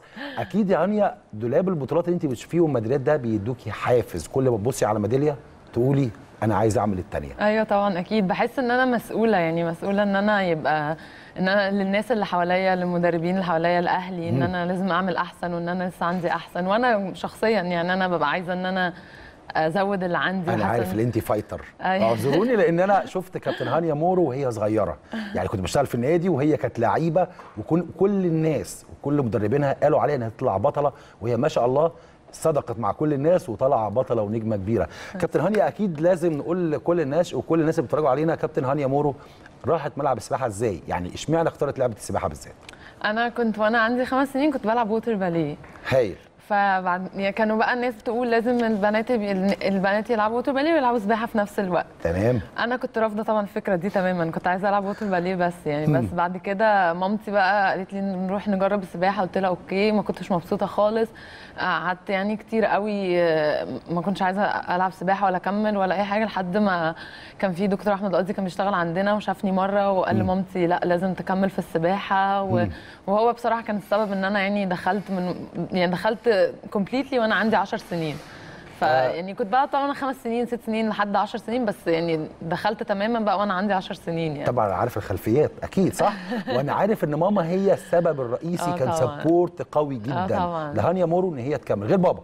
دكتور. آه طبعا لكن بابا برضه مامي يعني هي ليه الأساس. دور كبير جدا في, آه. في, في, موضوع السباحه بس ماما يعني من داي 1 ما سابتنيش وهي كانت أكتر واحدة يعني كل كل ما كنت بقع وأقول خلاص كانت هي أكتر واحدة تقف جنبي وتقول لي إن أنا لسه عندي. وحتى لو كانت بتحصل مشاكل كتيرة قوي كانت هي الوحيدة. وهي مش عارفة كانت دايما تقول لي أنا عارفة إن كل حاجة هتبقى كويسة. وهي مش عارفة إن كل حاجة هتبقى كويسة. هي كانت بتقول لي كده بس عشان تقويني. وفعلا هي اللي كانت بتقويني كل مرة بقع فيها يعني. عايزك تقولي لها كلمة على الهوا بعد ما بقيتي بطلة كبيرة. وخلي بالك أنا لسه شخصيا وكل الناس منتظرين هانيا مورو تطلع لغاية أعلى ميدالية في في العالم وهي ميداليات الأولمبياد. يا رب. تقولي لها إيه. ماما لا يعني حاجات كتير قوي يعني مفيش حاجة واحدة بس يعني ربنا يخليها لي ودايما كده أكون مفرحاها وأنا على طول يعني وأنا بعوم وأنا بعمل أي حاجة ببقى عايزة أعمل كويس عشانها يعني عشان هي طب خلينا تستاهل إن هي تشوف كده يعني. خلينا نروح لدولاب البطولات. أكيد اتمرنتي في النادي الأهلي مدة زمنية. آه طبعا. واختلفتي لما طلعتي أمريكا. خلينا نتكلم على بطولاتك في النادي الأهلي وأبرز بطولاتك جوه النادي الأهلي وأنت لسه ناشئة صغيرة. تفتكري إيه؟ أنا طبعا بلعب للنادي الأهلي من وأنا عندي 11 سنة فكنت بعوم وأنا صغيرة back فكنت بقى طبعا 100 200 back بكسب على طول في في بطوله القاهرة وبطوله الجمهورية. لحد ما أنا لحد ما سافرت لحد ما بقى عندي 18 سنة. كنت الحمد لله يعني ما فيش بطولة عدت عليا ما كنتش أول جمهورية في سبق أو سبقين على الأقل يعني. فدي كانت أبرز بطولاتي عشان أنا طبعا كانت أي بطولات بره كنت بلعبها باسم مصر. يعني بس كنت بتمرن في النادي الأهلي. يعني حتى لو رحت بطو- بطولة أفريقية بطولة عربية بطولة عالم وأنا قبل ما أسافر أمريكا كنت بتمرن جوه النادي الأهلي. وكنت بسافر بقى البطولات ألعب باسم مصر. طبعا سافرت وأنا جوه النادي الأهلي سافرت ثلاث بطولات أفريقية وثلاث بطولات عربية وكان سافرت بطولة عالم ناشئين وأنا لسه جوه النادي الأهلي. يعني دي كانت أهم يعني كانت أبرز الحاجات يعني. كسر أرقام متتالي. يعني ما شاء الله اللهم لا حسن. بتكسري أرقام على طول. كل ما تنزلي سبق هانيا مورو تقوم كسر الرقم. تفتكري إيه أكتر رقم بين قريب لهانيا مورو ونفسها كمان تكسره تاني؟ أم أم يعني كل أرقامك. يعني لا هو في سبقين يعني بحبهم قوي بس يعني ممكن أنا بحب 800 قوي قوي. بحب بتحبي 800 800. حرة بحب أعومها جدا. ده يعني كنت زمان بحب 400 قوي ده كان أول رقم مصر حطمته في حياتي. فكان كان كان رقم يعني وأنا صغيرة كنت بحطم أرقام السن لكن أول رقم مصر حطمه كان 400 حرة 2015 تقريبا. فكان بالنسبة لي يعني سبق عزيز عليا قوي بس دلوقتي أنا بحب قوي أعوم سباق سباق 800 حره يعني بالنسبة لي بتحبيه؟ آه لا وكمان يعني لما يعني بنزله كده ببقى عارفة إن أنا أقدر إن شاء الله أكسر الرقم ده وأعمل أحسن و... طيب هكلمك بصراحة. أنا عايزك بس تقولي اللي جواكي كده. النهارده إحنا بعوم 800 انت بتعومي لوحدك. بتقولي لنفسك إيه وانت بتعومي؟ يعني إيه اللي شغال جوه دماغك؟ عايز أقول للسباحين الصغيرين البطل بي بيتعامل مع السباق الطويل ده إزاي؟ 400 اعتقد هو ثلاث دقائق ونخلص على طول. آه، أربع دقايق لكن أربع دقائق لكن ال 800 وال 1500 سباقات طويلة شوية. بتعملي إيه طول السباقات الطويلة دي مع نفسك؟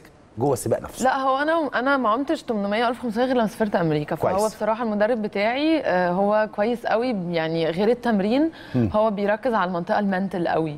يعني هو بيحطني في mental state إن أنا هعوم distance فإن أنا إن أنا أقدر إن أنا, أقدر أستحمل كده وإن أنا أقدر أعوم كده. فأنا بقى عايمه بفكر أيوه. طبعا هو ده. أيوه بفكر إن أنا إزاي أحافظ إن أنا وأنا عايمة أفضل عايمة جامد وما أخشش بقى إن أنا تعبت عشان وإحنا عايمين في السباحة أكتر حاجة أكتر حاجة تأثر عليك وأنت عايم لو أنت دخلت في منتل آه، اللي هي أنا جسمي أنا تعبان فجسمك كله بيتعب فالعضلات كلها بتقف. بتنزلي على طول في آه السباق فأنا بقى دي حاجة أنا الحمد لله بتمرن عليها كل يوم إن أنا بعوم في التمرين على تحمل السرعة.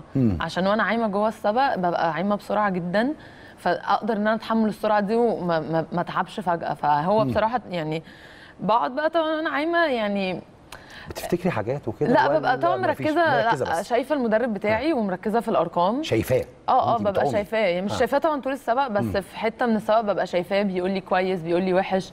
ما ما بركزش بقى حد جنبي مش حد جنبي أنا عايمة سبقي لوحدي. لسه السؤال التاني. آه، اللي. جنبك و... لو انت ماشية الاثنين اللي جنبك يمينك وشمالك ماشيين معاكي.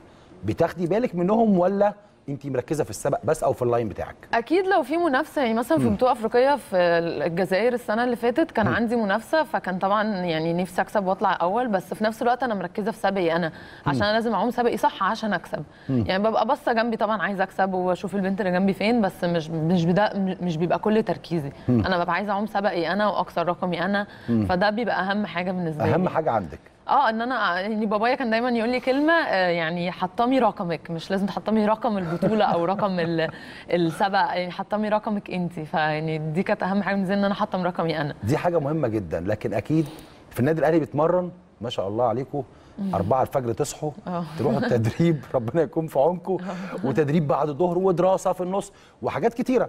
لما رحنا أمريكا الموضوع أكيد اختلف معاكي. آه طبعا عشان إيه الاختلاف؟ أمريكا منظومة متكاملة من كل حاجة يعني بمعنى؟ أنا بتمرن أنا أنا عايشة في الجامعة. كويس. وبتمرن في الجامعة ومحاضراتي في الجامعة. فأنا وقتي كله عارفاه. يعني أنا هنا مثلا بنزل من البيت ما بقاش عارفة هوصل في قد إيه. أدي واحدة. الطريق واقف آه، آه، العربية حصل لها حاجة أي حاجة بقى ايا كانت إيه. لكن هناك كل حد قفل حاجة عليك الطريق؟ بالظبط، لا شكرا آه، الإشارة في- قفلت كده يعني. آه لكن هناك أنا عارفة كل حاجة بميعادها وكل حاجة بتحصل في سيستم هي منظومة متكاملة. التمرين بالدراسة آه، المدرب بتاعي عارف درجاتي وفي ناس بتتابع درجاتي وعشان حتى ما ركزش في السباحة قوي والدراسة تقع. فهي أمريكا أحسن حاجة فيها عشان كده هم ناجحين جدا في السباحة. ومعظم الرياضات إن هي منظومة متكاملة من كل حاجة. أنت شغالة في area واحدة. بالظبط ما بتطلعيش من ال area دي. لا. إلا وانت خارجة مثلا مع أصحابك آه، أو آه، خارجة آه. تخرجي أي حاجة لكن رياضة دراسة جوه ال area سباحة جوه آه كله جوه نفس الحاجة والمدرب بتاعي عارف عني كل حاجة وبيتابعنا كلنا كفريق وكمان في روح الفريق دي برضو إحنا عيلة مع بعض إحنا كلنا عايشين مع بعض إحنا كلاعبين. آه آه إحنا يعني لاعبين كلنا عايشين معظمنا عايش في الجامعة فإحنا مقضين وقتنا كله مع بعض. فبجد إحنا بنعتبر عيلة عشان كده نفسية السباحين بره بتبقى الموضوع نفسية مختلفة عن السباحين المصري. آه طبعا. يعني الناس كده خايفة بجد على بعض و... والسباحين كده بجد إحنا عيلة. يعني إحنا هم. لما أنا مثلا بعمل كويس في بطولات بقى خارج الجامعة بيبقوا أكن أكن أنا يعني هم اللي كسبوا. بالظبط يعني وحضرتك بقى تلاقيهم على طول بقى حاطين صوري ويعني ناس بجد فعلا سبورت عندهم حاجة مهمة جدا جدا وبتفرق في نفسية الرياضي جدا. طيب هقول لك على حاجة الالعاب الجماعيه أكيد هنسبورت بعض بس اللعبه فردية أنا عايز اكسب وانت عايزة تكسبي. بالظبط. الاختلاف ده حاجة مهمة جدا. يعني إزاي هما بيسبورتوا ده؟ وانت ممكن تكون بيلعبوا معاكي نفس السبق بتاعك. مظبوط كده؟ آه. إزاي إزاي يسبورتوا هانيا مورو وهي عايزة برضو تكسب صاحبتك اللي جنبك أو زميلتك اللي جنبك؟ عشان إحنا بنلعب رياضة في الآخر. يعني إحنا آه، مش المفهوم. إحنا يعني أنا ليا واحدة صاحبتي هناك آه، وإحنا في الجامعة إحنا بنعوم نفس سباقات بعض. كويس. وأيام هي أحسن مني أيام أنا أحسن منها يعني الموضوع رايح جاي يعني. بس عمرنا ما ما يعني ما أنا مش مش يعني عمرنا ما عملنا حاجة وحشة في بعض. يعني إحنا بنتعامل مع بعض بالعكس. إحنا بنيجي يوم كل يوم التمرين كل واحدة عايزه تبقى أحسن من الثانية فإحنا بنشجع بعض. عشان كده إحنا الاثنين اتحسنا جدا. فيعني هناك فرق. طبعا. لا لا طبعا. عايزك تدي نصيحة في الحتة دي بالذات للسباحين والسباحات المصريين في النادي الأهلي وبره النادي الأهلي. إن المنافسة دي جوه أرض الملعب لكن بره لازم نكن لبعضنا كل احترام. يا ريت تقولي لهم نصيحة فعلا في الحتة دي. بص أقول لحضرتك حاجة. أنا مدرب أنا أول ما رحت الجامعة أنا طبعا هنا في مصر آه، يعني كنت واخدة كل ال attention من أي حد عشان أنا بقى البطلة وأنا كويسة لما سافرت كان في ناس أحسن مني. فأنا ما كنتش عارفة أتعامل لسه يعني مش مش أنا اللي عليا ال spot فكنت أنا برضو إيه مستغربة. آه. كان في بنت كويسة قوي. فكان المدرب بتاعي مرة قال لي كلمة ومن ساعتها أنا ما نسيتهاش. قال لي شاين ان ان everyone's excellence. ف يعني ده معناه إن أنا أي حد كويس أنا أحاول أبقى زيه وإن أنا يعني أبقى كويسة وهو كويس. مش لازم أنزله تحت وأقلل منه عشان أنا اللي أبقى كويس. إحنا عكس الرياضة في مصر. يعني آه، بصراحة بس بصراحة عشان يعني. نتكلم بصراحة. يعني بصراحة. عكس الرياضة في مصر ينزلك عشان أطلع وأنا بالظبط. فهو لما قال لي الكلمة دي أنا فعلا أنا بقى من ساعتها ال- البنت دي أنا فضلت إن أنا عايزة أبقى زيها وعايزة حتى لما يعني عايزة أتعامل مع الناس زيها وعايزة أكون كويسة زيها في السباحة وبره السباحة. ف وفي الآخر بقينا إحنا الاثنين كويسين. ف والاثنين بيكسبوا. بالظبط. وكل, وكل واحد بيعمل في سباقاته كويس ويعني هو النصيحة بقى. آه. عايزك تنصحي السباحين عشان يكون النفسية شوية هادية. أنا معاكي 100% إن فعلا السباحين في شد وجذب قوي جدا. لكن عايزك تديهم النصيحة تقول لهم اتعاملوا إزاي عشان كله يكسب. يعني أنا عايزة بس أقول لهم إن هو يركزوا على نفسهم. يعني بالظبط. ما ما يعني زي ما قلت لحضرتك ما, ما تركزش في اللي جنب في في, في ال lane اللي جنبك ولا في في التمرين الشخص آه طبعا يبقى في كومبات تكون شخصية competitive بس يعني ما يعني ما تخليش إن أنت عايز ده يخسر عشان أنا أكسب بالعكس. حب لاخيك ما تحب لنفسك بالظبط وخليه هو يكسب ويكسب أنت. يعني اكسبه هو بل... كده أنت هتبقى م- مبسوط من نفسك أكتر. مش عشان هو خسر فأنت كسبت لأ يعني ده اللي أنا عايزه أقوله يعني. ركز على نفسك أكتر يعني. طيب إحنا في الأجيال بتاعتكم أو الجيل ده بالذات بقينا مش بنتكلم على أفريقيا ولا طبعاً. بنتكلم على العرب آه بنتكلم. على مستوى العالم. وصلنا وعندنا أرقام والأرقام بقت قريبة قوي. التكة دي هن- هنخلص فيها إمتى؟ اللي إحنا نقف فعلا على منصات التتويج الأول والثاني والثالث هقول لحضرتك على حاجة يعني إحنا دلوقتي من 10 سنين مثلا يعني إحنا رايحين بطولة العالم كمان ثلاث أسابيع. بالظبط. من 10 سنين آه كان آه آه، الاتحاد الدولي بيبعت لمصر دعوة عشان ما كانش في حد بيتأهل. دلوقتي إحنا ست ولاد وبنتين. ما شاء الله. متأهلين مش مبعت لنا دعوة. فقول مثلا كمان 10 سنين. إحنا تعبنا. اسمها آه، كده إحنا تعبنا. تعبنا ما قوي. عندناش بيجي لنا ورقة تقول لنا تعالوا تعالوا تعبنا قوي. لا هو الموضوع يعني خد. مننا وقت فممكن بقى كمان 10 سنين تلاقي أكتر من من من ستة أو ثمانية بالظبط. وناس بقى بتنافس على أول وتاني وتاني. يعني إحنا دلوقتي بننافس على final بننافس على semi final فدي حاجة كويسة دي بداية. ويعني بداية كويسة جدا طبعا لينا كسباحين يعني في مصر يعني. بصي هو هو جابوا لي صورة نفس اللون اللي انت لابساها بالظبط أصفر. إيه الصورة دي؟ ده في أمريكا في البطولة بتاعة ال conference بتاعنا في أمريكا east إحنا البنات في شهر انت فين بالظبط؟ الصورة زحمة. أنا على الشمال أنا على الشمال. آه. رفع إيدي كده للجنب. اللي على الشمال فوق؟ لا تحت. يعني تحت. تاني صف. أنا اللي واقفة جنب العلامة. بالظبط. آه. كويس جدا. هاي آه، هي دي. كابتن هانيا مورو. تاني واحدة على الشمال من تحت. لا واحدة لابسة أسود هي اللي فوقيها على طول رافعة إيديها. عشان بس الناس تتابع بس الموضوع. هم. ودي؟ آه، دي في نفس البطولة برضو أخدت آه، أحسن سباحة عملت أحسن points آه. أكبر أكتر points في البطولة على آه. مدى أربع سنين. وصاحبتك اللي بتلعب معاكي كانت مبسوطة لك. طبعا. آه، طب هو أصلا ال- ال- ال- ال- الجايزة دي كانت بيني وبينها. آه. يعني كان يا أنا يا هي يعني.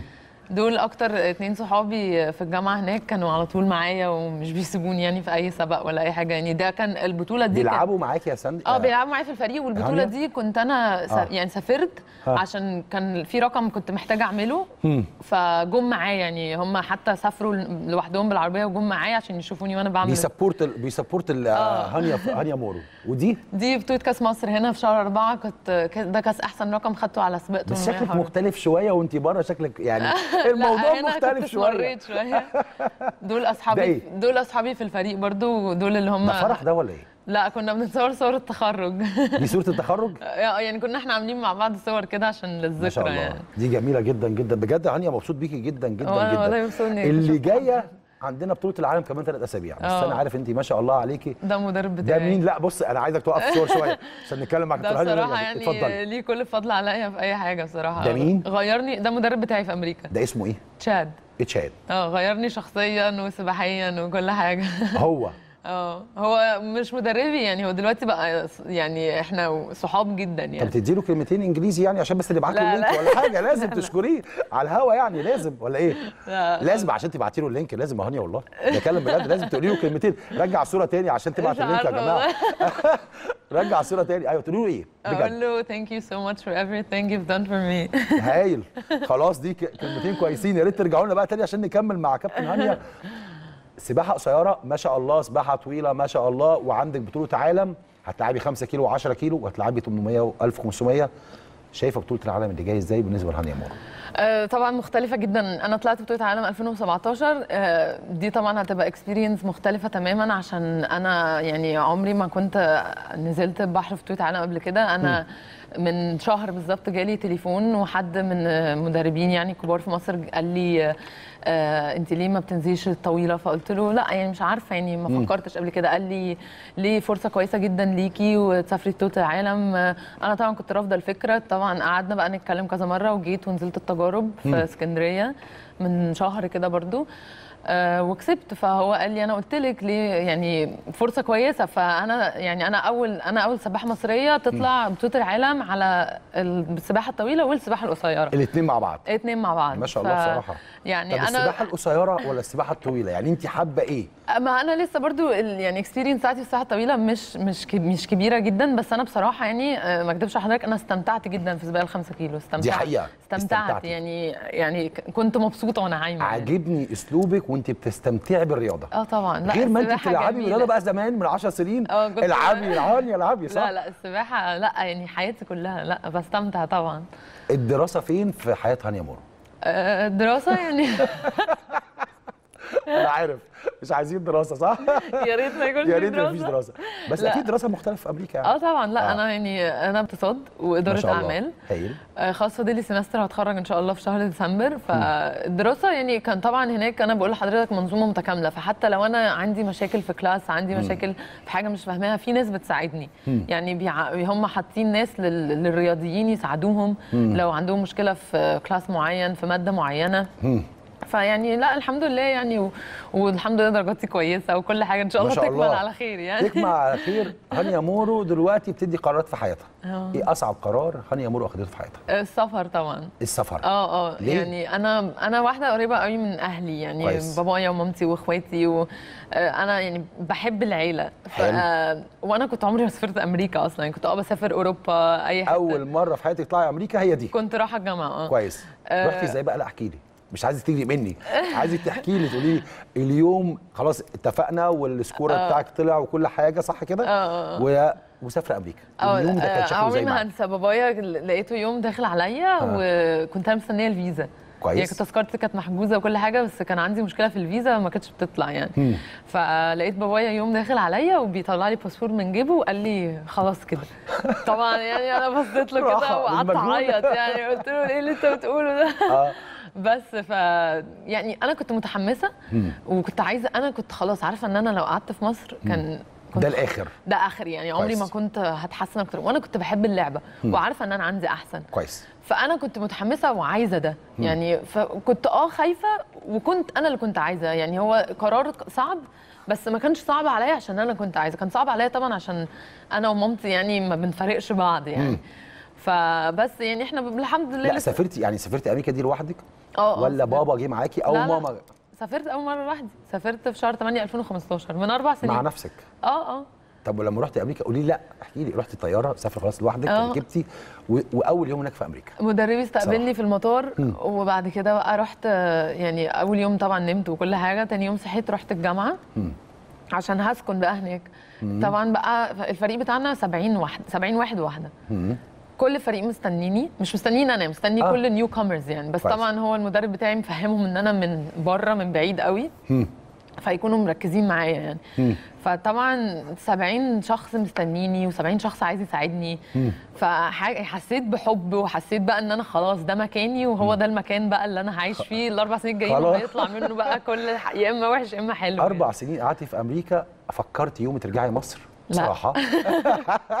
ولا حتى أول أسبوع. لا يعني فكرت طبعا عشان عندي home sickness وعايزة أهلي وكده بس بالظبط. آه، ما فكرتش. يعني إن أنا أرجع عشان أنا عارفة إن أنا لو رجعت هبطل سباحة يعني على طول. خلاص عاجبني فيك الصراحة قوي. طب هنفضل مكملين في أمريكا بقى؟ خلاص إحنا هنتعايش هناك لغاية ما هانيا مورو تقرر هي تبطل سباحة؟ آه، يعني أنا إن شاء الله ناوية؟ هرجع في شهر 8 عندي semester وإن شاء الله بقى أقعد لحد بقى إن شاء الله آه، تصفيات الاولمبياد بقى أشوف بقى هعمل إيه. أنا المدرب بتاعي يعني. لسه 2020 السنة الجاية. 2020 آه، ألاقي هانيا مورو واخدة أول تاني تالت في الأولمبياد؟ لا صعب قوي بس نشارك؟ بس ده أنا ده أنا. ده أنا نفسي. والله نفسي أشوفك على الأولمبياد يا بصراحة. ريوانا والله. بس هو حلم كل رياضي يروح اولمبياد يعني أكيد الحلم يعني. الحلم حاجة لكن الميدالية حاجة تانية. آه طبعا طبعا هو مجهود؟ كبير يعني. لا ناوية. يا رب. ناوية. طيب خلينا من السباحة شوية. أكيد ليكي هوايات تانية؟ يعني أكيد انت بتمنعي عن نفسك عن خروجات وعن آه، سهر. وعن حاجات كتيرة. لكن خلينا في هوايات هانيا مورو بره السباحة. عايز أعرف الغنى مثلا ولا إيه كنت خد حضرتك عارف يعني عارف. السباحه ما بتسيبلناش وقت نعمل أنا أي. حاجة يعني بس هو- أكيد في أمريكا في النظام ده أكيد لا بحب. أخرج مع أصحابي أنا بحب الأكل مثلا فبحب أجرب مطاعم مع صحابي آه، نشوف إيه نعمل أكتر حاجة بتحبيها في الأكل آه طبعا آه، مستنيكي تقوليها. لا. بس أنا بحب كده برضه قولي لي بس. مكرونة يعني بحب حاجات كتير. 100% آه طبعا. آكلها كل يوم. كل يوم مفيش مشكلة. آه ما عنديش مشكلة. وأصحابك بيروحوا معاكي ومش متضايقين ولا أي حاجة خالص؟ لا بس أنا مش يعني هناك بنجرب بقى كذا حاجة بس أنا بحب المكرونة جدا يعني. طيب هقول لك حاجة. السوشيال ميديا أكيد في حياة ال- النجم الكبير. اللي زي حضرتك كده معاكي ناس كتير على السوشيال ميديا. السوشيال ميديا بتمثل في حياتك إيه؟ أنا ب- يعني بحب أتفرج أكتر ما أنا أكون center of attention في السوشيال ميديا يعني أنا مش مش مركزة قوي على السوشيال ميديا يعني. بس آه، أكيد بعد أي بطولة مهمة بيبقى يعني في ناس كتير يعني بتحاول بقى تتكلم معايا. بس يعني في مصر بي بيكونوا متواجدين معاكي على السوشيال ميديا ومتابعينك ولا في أمريكا أكتر؟ بصراحة. كسباحين ولا؟ كسباحين آه آه، لا الاثنين واحد تقريبا يعني. يعني طبعا السباحين الصغيرين هنا على طول يعني بيكلموني وكده ولو في حاجة هناك برضو نفس الحاجة صحابي على طول معايا. يعني مش مش جزء يعني أنا بالنسبة لي السوشيال ميديا بحب أكتر إن أنا يعني أنا مش بحب إن أنا يعني أكون حاجة كبيرة على السوشيال ميديا في سرعة شديدة جدا كلمة لمدربينك وكلمة لجمهور النادي الأهلي عشان يقولوا إيه اختم اختم اختم. آه، مدربيني طبعا مدربي في أمريكا يعني آه، أنا قلت له يعني وأنا على طول. بقول له كل حاجة إن هو السبب في كل حاجة. مدربينك اللي في مصر اللي آه،. طبعا يعني هم يعني السبب إن أنا وصلت للحتة أنا في أمريكا فبقول لهم شكرا جدا على كل حاجة. وجماهير النادي الأهلي ككورة ولا كسباحة؟ ككل حاجة جماهير النادي الأهلي بتتابع كل. الألعاب. بجد. آه آه والله بيتابعوا بيتابعوا أيوه عارفين. أيوه صح دي. حقيقة. آه طبعا آه، لا جمهور عظيم. يعني إحنا كلنا عارفين يعني هو أحسن جمهور في مصر يعني. بصي بجد فرحان لك ومبسوط لك جدا وسعيد جدا إن انت كنت معايا النهارده وأتمنى تكوني معايا على طول بجد. بجد. صدقيني شرفتيني ونورتيني. وأنا كمان والله. بجد هي كابتن هانيا مورو شرفتنا النهارده وإن شاء الله بإذن الله هتنورنا. بعد بكين وهي بإذن الله شايلة ميدالية لأن أنا عندي أمل فيها كبير لأن فعلا اللي انت شفتها وهي عندها خمس سنين وبتلعب سباحة إن شاء الله هتحقق ميدالية لأن هي عندها الطموح ده بإذن الله. في اخر الحلقة بشكركم وإلى اللقاء.